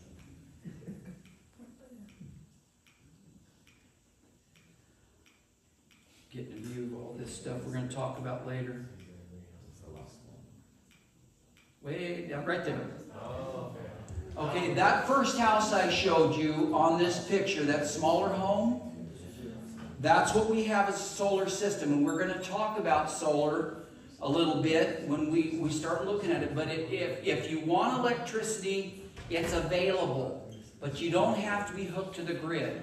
Well, so the, the question I have with these, because I've seen a lot of stuff, with solar, as far as people putting it on their roofs, people get leaks in the roof, and that generally. Stay off the roof. Yeah, and the other question is, uh, maintenance and storage for energy. Yes. So you have a battery, Absolutely.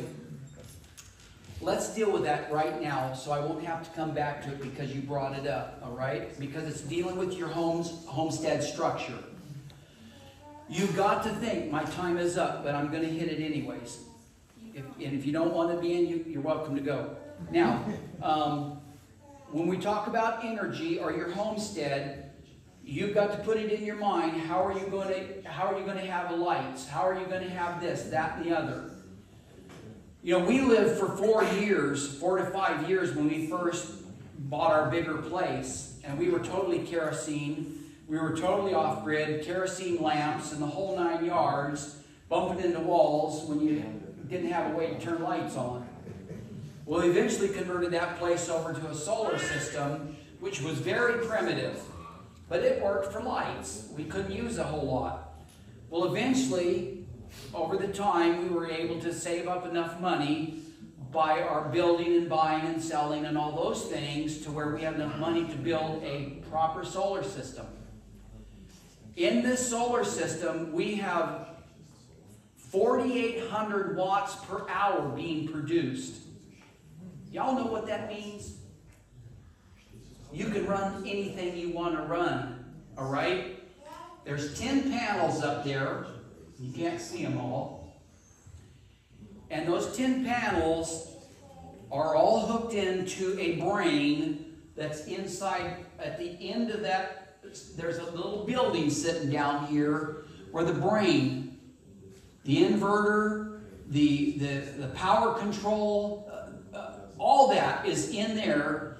And there's a battery bank system in there that has a huge amount of, of storage.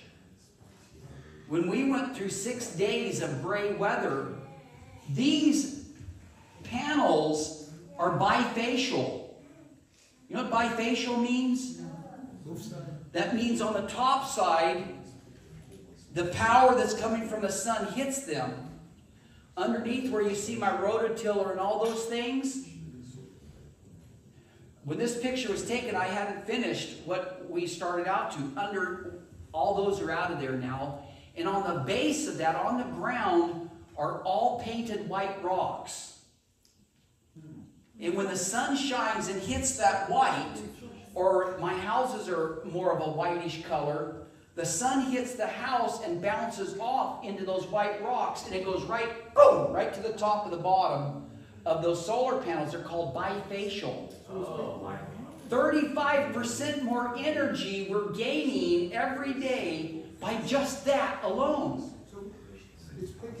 It's picking it up from the bottom. from the bottom. It's bouncing off those white rocks and it comes, it bounces off the house, lands down on the ground into those white rocks, and bounces out of those white rocks right to the bottom of those panels, and we're gaining 35% more energy in our solar production by just that alone.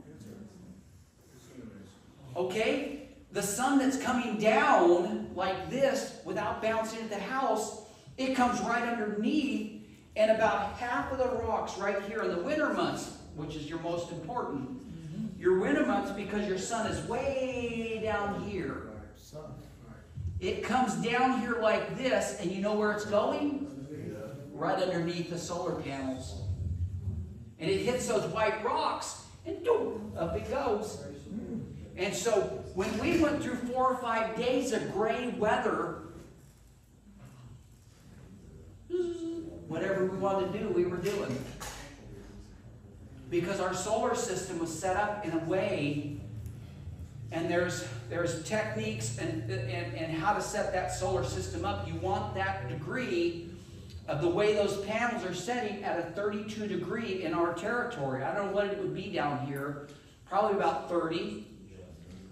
But we up there is 33 degrees, and 32 to 33 degrees, and it lays it down, and that means we're getting ultimate sun in the winter months. Summer, we don't care. We got full summer, goes right over the top. And another thing about solar is you want to make sure the direction those solar panels are headed. Yeah, east to west. You want them, that's exactly right. You want them to run east to west, and you want your panels to be safe. So when you're looking for a piece of land, think these things. You want those panels to be looking which way? To the south, at the sunshine, because the sun falls in the winter months to the, to the south. And as far as it goes, you want to make sure that your clear land back here, that you're not getting sunshine when that sun falls back down here. You follow me? And let me tell you, these new panels are an absolute amazing, amazing what they do. Um, so I might have missed this, what kind of flooring in these houses, have you tried different floorings are you using? The flooring I have in these houses is a white pine tongue and groove. All right, non-toxic, just pine flooring. And it's the old-fashioned type. When you walk in this house, you thought you went back 150 years. With all new components, we got a refrigerator, beautiful refrigerator in our homes, and it runs around the clock because of the solar system. We don't even know we're on the solar, to be honest with you. I mean, that was the thing with Sonia. Chris goes to the kitchen when she wants to use the blender, when she wants to bake bread, whatever she wants to do. I set this home up for my wife. I don't need all these things. I could live in a, in a hut. Deep freeze? Deep freeze, we've got two deep freezes.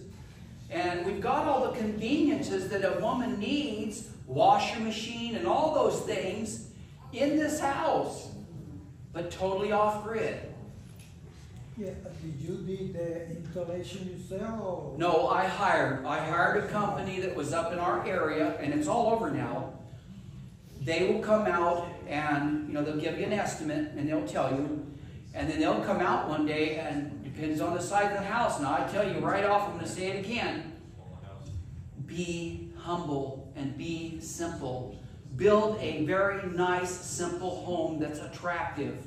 You don't need a great big home. Okay, that's exactly right. That's the simplicity. And when they come out and blow that place, that house, that house right there cost us, this is, well, this is the house I'm in right now, The, the solar system. okay, with the solar system. How much the solar system? That house cost us thirty-eight hundred dollars to be insulated. And the solar system? Uh, I don't know. Yeah, how much? No, no, no, no, no. I got about twelve thousand dollars into my system.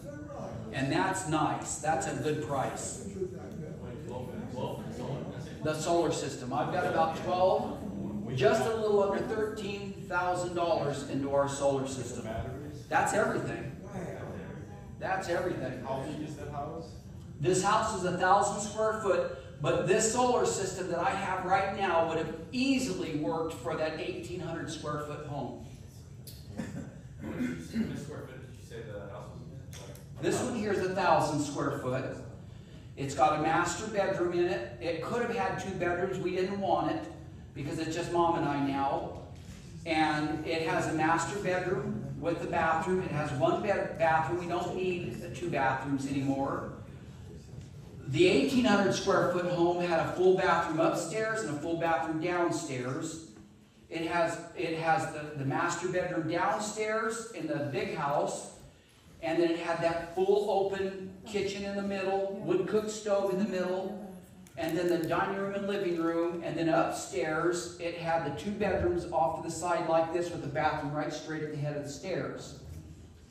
And it was all electrified completely, and all you had to do is to put the solar system in and hook it in, and you would have been totally off grid. Now, the little home, it's the exact same, you'd almost think you walked into the, the, the, the bigger home.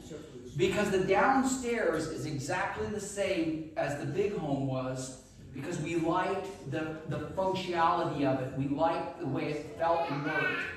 The washroom, you know, in our washroom, another thing I want to uh, hit real quick is in that structure of your house, of the one you're living in, not your secondary house, but your home, you want a room in there for mama to have a pantry. You don't want to be going somewhere to pick up canned goods or whatever you're going to have. So in my washroom, where the washing machine is, and a wash tub to wash your hands and stuff, on the opposite wall of where the washing machine is, that whole wall is full of shelves. And it's built in such a manner that we can put all of our canned goods. I mean, we used to be putting up about 1,200 to 1,500 canned goods a season. All right? And then we had five gallon buckets all the way along the wall. There's a, it's an eight foot shelf wall system. These five gallon buckets full of bulk food. And then you go down to the crawl space, guess what? Oh my goodness. so you had your home structure, and that's, you know, Are those panels a maintenance free? Those- oh, absolutely. The what? When you set them, Okay. one of the things I can go forever. when when you're dealing with solar, when you set it in its proper angle, if you get hail, it'll bounce off those things and roll right on. All right, they're very tough. It takes some serious abuse. And the way I've got them set up, they're easy to change out anyways. It's, it's, no, it's not difficult at all. Very maintenance free. Now, with that addition, I, I don't know what y'all do down here in the winter months, whether you get snow or not. But where we are, we get snow. And so you have to have yourself set up enough to go out there every day it's snowing and wipe the snow off. That's why you don't want it on your roof. You don't want to go up on top of that roof. Even you get the risk of the holes in the roof. There's ways that there's there, there's caulking now that's unbelievable. It will last you your lifetime with one application. But you don't wanna have to go around. But you, my opinion is keep them off the roof, get them down to where you can manage them and handle them. And the other thing of it is, you put them on the roof, you've lost your biface. Yeah. You lost the, the, the, the, the, the ability to get 35 percent, percent more from the bottom. All right? Keep them on the ground as low as possible and utilize everything you've got. Now, believe me, this is an exp- not expensive, but the simpler you keep your structure, the less expense you're going to have in this. But what if you can't afford solar? You know what I mean? I mean, we got enough people in here, I know good and well is not gonna be able to shovel out twelve thousand dollars on a solar system. So what are you gonna do? Set yourself up completely off-grid to where, when the time comes, when you don't have electricity, you can still function. You know what I mean? Have kerosene lights, put them away somewhere, have five, six, ten gallons of kerosene that'll last you probably a couple of years for your lighting structure alone. That's what we used to do. When we started out homesteading, I had 15 gallons of kerosene set aside in my shop, and that's what would replenish our light, and that would last us a year to some up to two years. So you can have that. I want to know, you said you have white rocks underneath your uh, solar panel. But you also use aluminum or a sidewall? You can use anything you want to use. Uh, we know people that have done cement, and they painted the cement with a real good uh, industrial white paint, and that works just as fine. You can use metal roofing that's white, and you can lay it down, make sure it's pinned down. Anything that's white, or white works the best because it reflects the best. Now you can use just silver. I don't like the silver because it wants to rust. Also, um, my son has bought some solar lights that he put in his house, and you you don't have to use much light at night when he's walking through the house, the lights automatically come on. Yeah. And, uh, I don't know if you have to use batteries with them or not, but I have some that I put in my window, and if my lights go off, they would automatically come on as well, and I don't have to use batteries with them. Yeah, there, I mean, there's all kinds. I mean, believe me, you can get on the internet now, and there is so much stuff out there now of people that have an interest of being off grid. Okay. There's heat over here. Who? He's been, he's been. Oh, let me go here first. Sorry. Can a system like this be added to an existing home? Absolutely.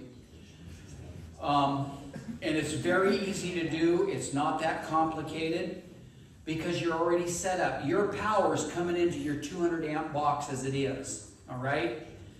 All you're doing is you're telling the electric company, now,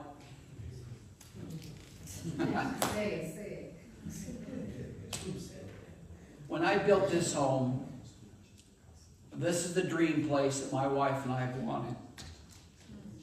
We just didn't have the money to do what we really wanted to do. I wanted to set Chris up with a place that she had home and where she was comfortable and she could do without all the slave labor that we had during those early years. It was a lot of work.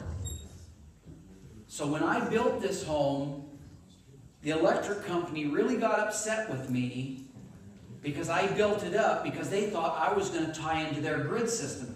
We have the grid right there, and it was already at our barn because the man that we bought it from had the power at the barn.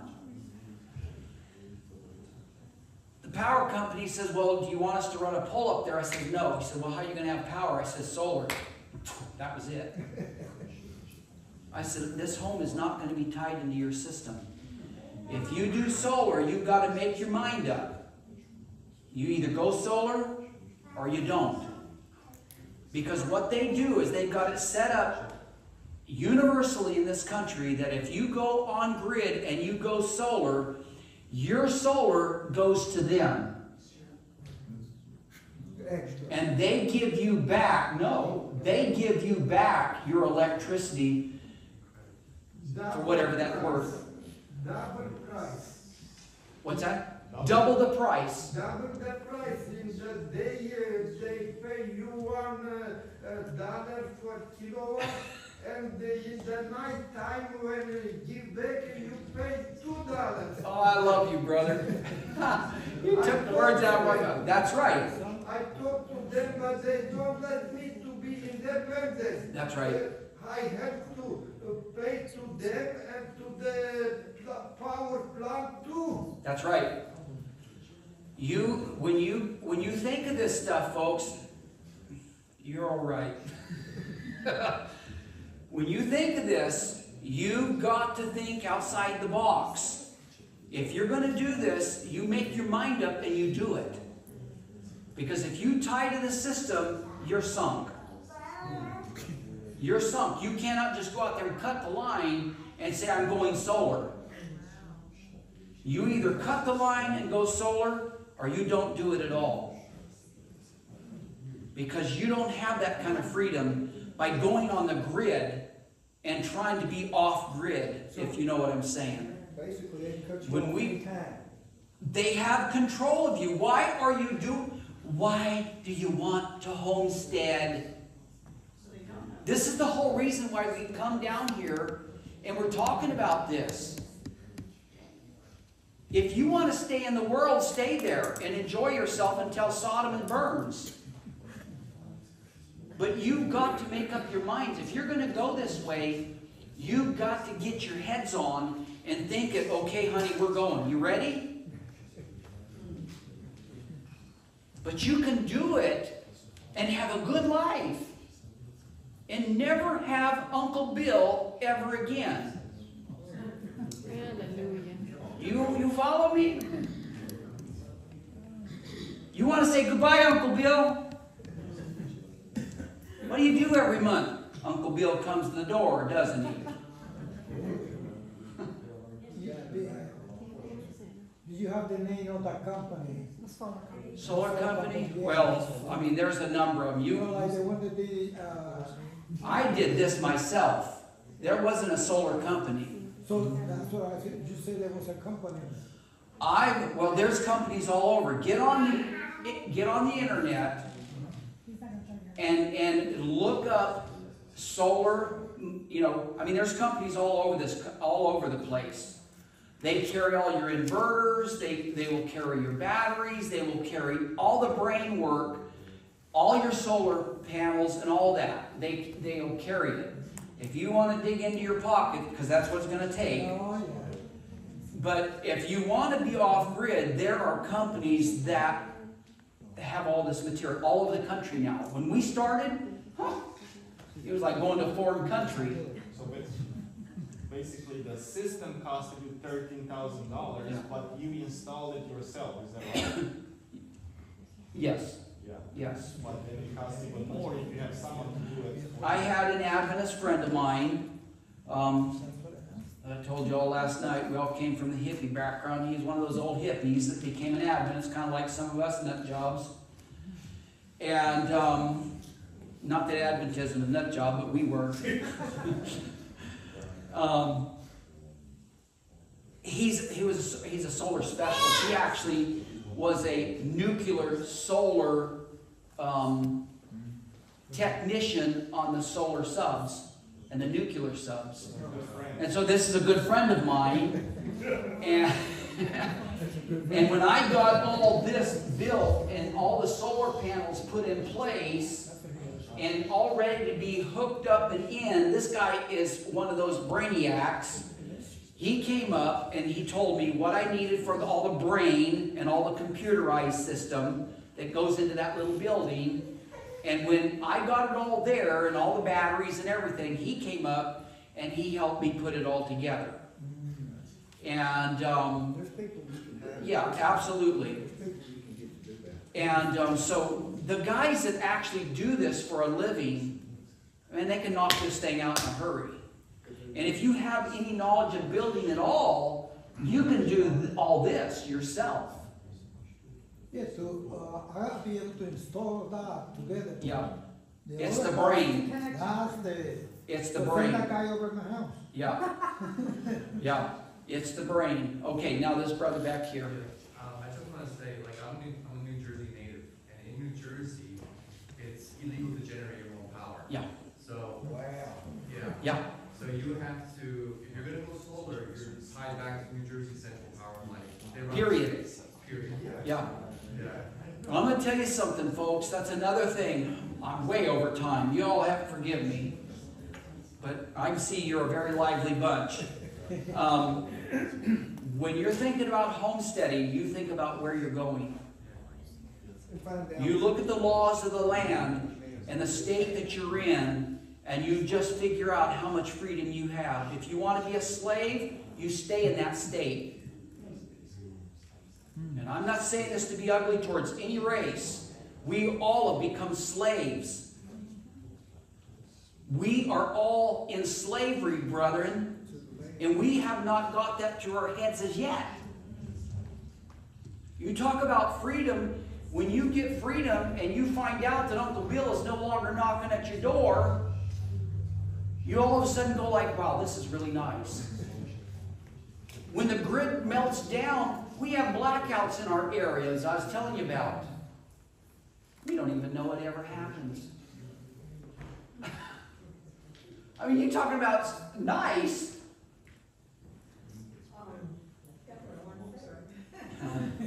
Which, which, which states, And I'll come back to me. which states are the best, um, to homestead in and which states should we stay away from? New Jersey? Well, I'll tell you, the New England states are a real piece of work. I would stay away from the New England states, and I will, I, I refuse. In fact, I wouldn't even go to Virginia, because Virginia has too many restrictions and laws. There's beautiful country in Virginia, but they are, they are too close to Washington DC for my blood. And they've got too many restrictions, and your building code's another thing you need to look at when you move somewhere. Look at what the requirements are for your building codes. Where we live, there is no restriction. I can build five houses on my place if I wanted to. Where we live, we live in Alabama. Okay, We don't even pay property tax. now that's, that's, Because we have five acres or more because of our age. it, No yep, property tax. yep, that's right, that's right. In Clay County, Clay County, oh, out, uh, Alabama. You mean in Alabama? It seems we have to know s- some states are unpopulated, but they m- may have some nuclear weapons yes. nearby. So we have to be aware of that. Well, I don't know. I, I, I, don't- I really don't want to go down that trail. Um, to be honest with you, I don't even pay attention to that. If, if nuclear happens and I'm vaporized, hallelujah. I mean, honestly, I won't know anything until Jesus comes, and that's be just that quick.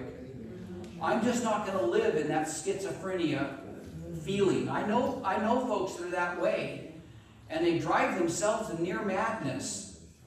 I don't want to have that. I want to have, I'm going to live like I can live and be at peace with the way I'm living and what's coming down the road. I, I don't know what. We have nuclear plants, and, the, and the, the, the government wants to shut these nuclear plants down. To be honest with you, the nuclear produces electricity the cleanest and the best that we have. Exactly, amen. And these nimble.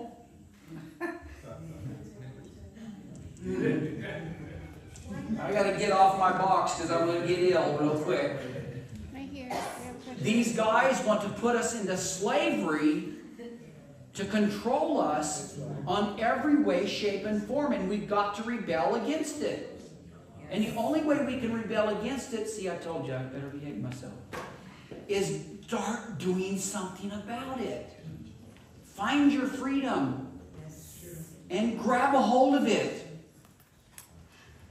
Okay, Question is regarding, um, your home. Um, a log cabin compared to a, uh, frame house. well, as far as I'm concerned, log cabins are more expensive than my house. We looked into it. I actually looked in it. And another thing I don't like about log houses is that lumber tends to, over a period of time, creak and crack and, and, and you end up with these different problems. You gotta keep after the chinking material with some of these companies. Um, and they're just a little more difficult, well, they're quite difficult actually to work with, to electrify and all these things. Um, because I was a builder, I guess I am a builder, but because I build, I always like to build my own home.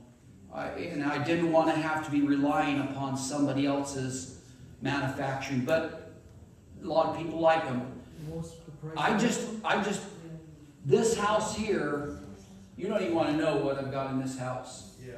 Because when I built this house, versus, versus the, oh no, forget it, the 1,800 square foot house, I had about 100,000, maybe a little bit over 100,000 into that house. That sounds like a lot of money, but that's not when it comes down to a really well structured. This house here that I have, that one versus the first one, go back. The, the, there, that house, no, whatever, it doesn't matter. It's the first picture on the, on the slide. That house that we're living in now, you know what happened during Y2K, right? Uh, Not Y2K, COVID. You know what happened to lumber prices and buildings? Oh, yeah. Oh my goodness. I've got a, at least a quarter to almost 50% more into this thousand square foot house than I had in that 1800 square foot house. Eighteen hundred? Yes. Is that? This here's the thousand square foot house. But I said, you know what? And this is right across the cuff. My wife and I both recognize my money is going to go back into my land. I don't want it in a bank. I don't like what's coming down the pike. I don't want them to sit there and put me on a credit card or a digital system and be forced to not be able to buy and sell unless I cooperate with that system. So I started sticking our money back into the land. I put it into the land, I put it into our home, I put it into our farm, I put it into our equipment, and right now I'm in the process of buying a pair of mules or looking for a good pair of mules and go back to working with horses like I used to. I want to get back to being 100% back to self-sufficiency. I don't want to tell you all to do it unless I'm doing it myself. And you know what I mean? And we all don't have to go that route, but what money you've got, use it wisely. And put a plan in motion and move in that direction. But don't wait until you will not be able to do a thing.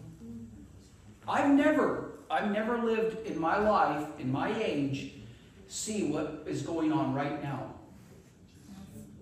I've never seen land go to the price it is. Y'all live back here in the South long enough to know what it used to be like. I was from California originally. I moved back here in the South almost 40 years ago. You know why I moved here? Because I could buy land. And it was cheap enough, good land. Because most of the people went back to, went to the cities from the country and abandoned the land.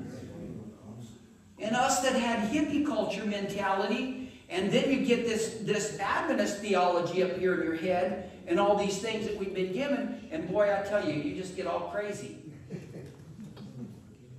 And when we looked across the country and saw land that we could afford and do what we wanted to do, that's where we went. And that's why we're here.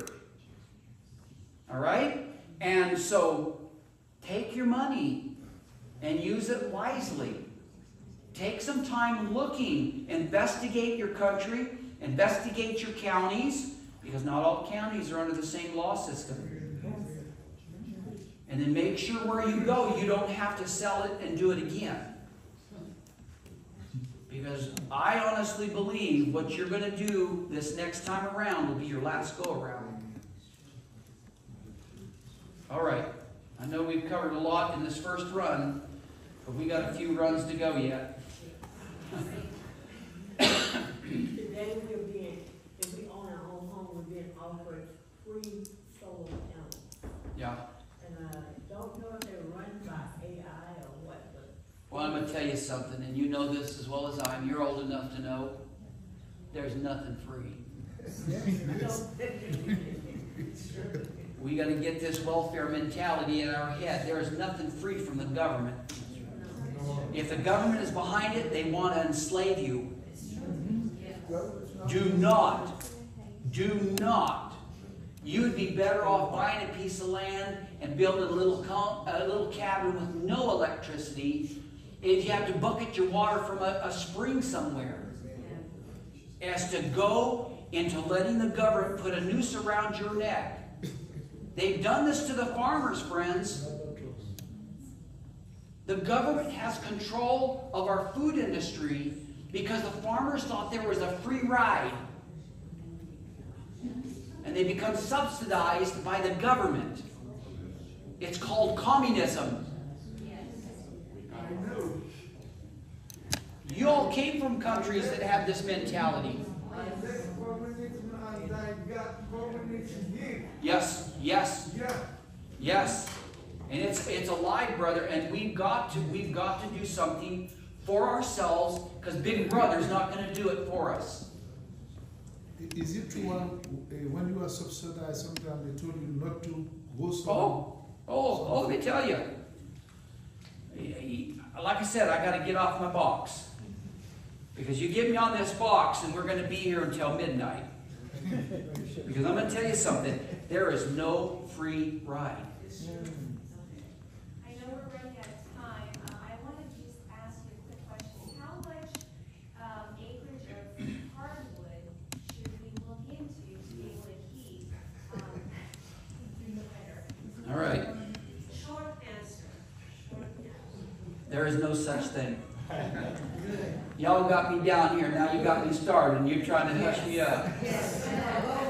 Go, go. Preach. Now, when we look at land, we want to make sure, and you saw in some of the pictures, the wood lot, or the, the, the wood. There's a lot of wood right there, firewood. Yes. That's a whole other story. But when you're talking about land, I want at least three quarters of that land to be in a woodlot. I want it to have enough timber on that place. That's another thing to keep in mind. Look at what your resources are on your land. And one of your biggest resources on your land is your timber lot. Do not buy, then water. Then you don't want to buy land that has been timbered. They just took your assets from you. You know what I mean? If you need to build something, you can cut this thing down and take it down to the sawmill, and they will cut you out all the timber you want. If you've got a barn to build or a shed to build or whatever, you have, or you can get your own sawmills. They're not that expensive, but you can do a lot. That, But if you don't have it, you're in trouble. The biggest thing you're thinking about is your firewood. It's, it's a big, big must. No homestead in this country ever was a homestead without a, a timber lot. It had to have a wood lot on it for many reasons, but that is one of the primary ones. They had to have it for their survival. So at least three quarters of it, and then you can just divide that if you're buying five acres, if you're buying 25 acres, or whatever. 25 acres is the ultimate you need for a homestead. All right? You don't need any more than that. You can do it. You can do it down to five acres. You can do it on absolutely on less than that if you really are really, really frugal and tight. Because you need, you, when we get into it, you need at least an acre to an acre and a half of tillable, workable ground. What about pine trees? The pine trees. Yeah. Good to be Well, able, pine trees are great. not to burn. Yeah, not to burn. Well, I mean, if that's what you got, that's what you're gonna use. Right, outside. You know what I mean? That's, yeah. But, you know, pine trees are a great asset on a piece of land. It has all kinds of, ben- in fact, pine trees are great medicine, and most people don't even know that. Very good. They're wonderful. They're, they just have some wonderful properties in them. And they're great for building. They're great for all kinds of different things. It's not the greatest firewood, but it is still firewood. I recommend looking for land that has more hardwood on it. You know, your various different hardwoods. Um, you know, our place has hardwood and cedar, and I like that combination because I like the cedar, and I can use cedar for a lot of things. And so all my kindling comes out of cedar because it starts a fire nice with very little smoke. And pine's the same way. You know, you can you so when you look at your land and what you're looking for is make sure you have at least at least half of that land in the timber lot. At least. The rest of it's got to be for for animals, for food production, and a house site. By the way, these houses, you, you didn't see something on these, these houses. You know what you didn't see? Is what grandma and grandpa used to have. Ah! An outhouse. That house is completely self-sufficient and has a complete septic system in it. Just as modern as anybody's. And that's another thing you've got to look for when you go to doing a homestead. What is your county like? What is it going to cost you to put a septic system in? What state can you go in? You go to certain states and you're looking at ten to twenty-five thousand dollars for a septic system. Where I live, twenty-five hundred to three thousand dollars. With a beautiful septic system that'll work for us until Jesus comes. So you gotta you gotta look at those things. You also gotta be wary of, of, uh, uh, easements and, uh, Yeah. Drilling, drilling rights. Yeah. Yeah, mineral rights and all that. Yeah. A lot of stuff, folks, a lot of stuff. And we've run out of time for this, this segment. And um, we'll come back around three o'clock, I think it is. And we're gonna work, we're gonna look at this water, uh, the necessity of water. Those three systems we talked about are what? Shelter, water, food. Those are the three major necessities.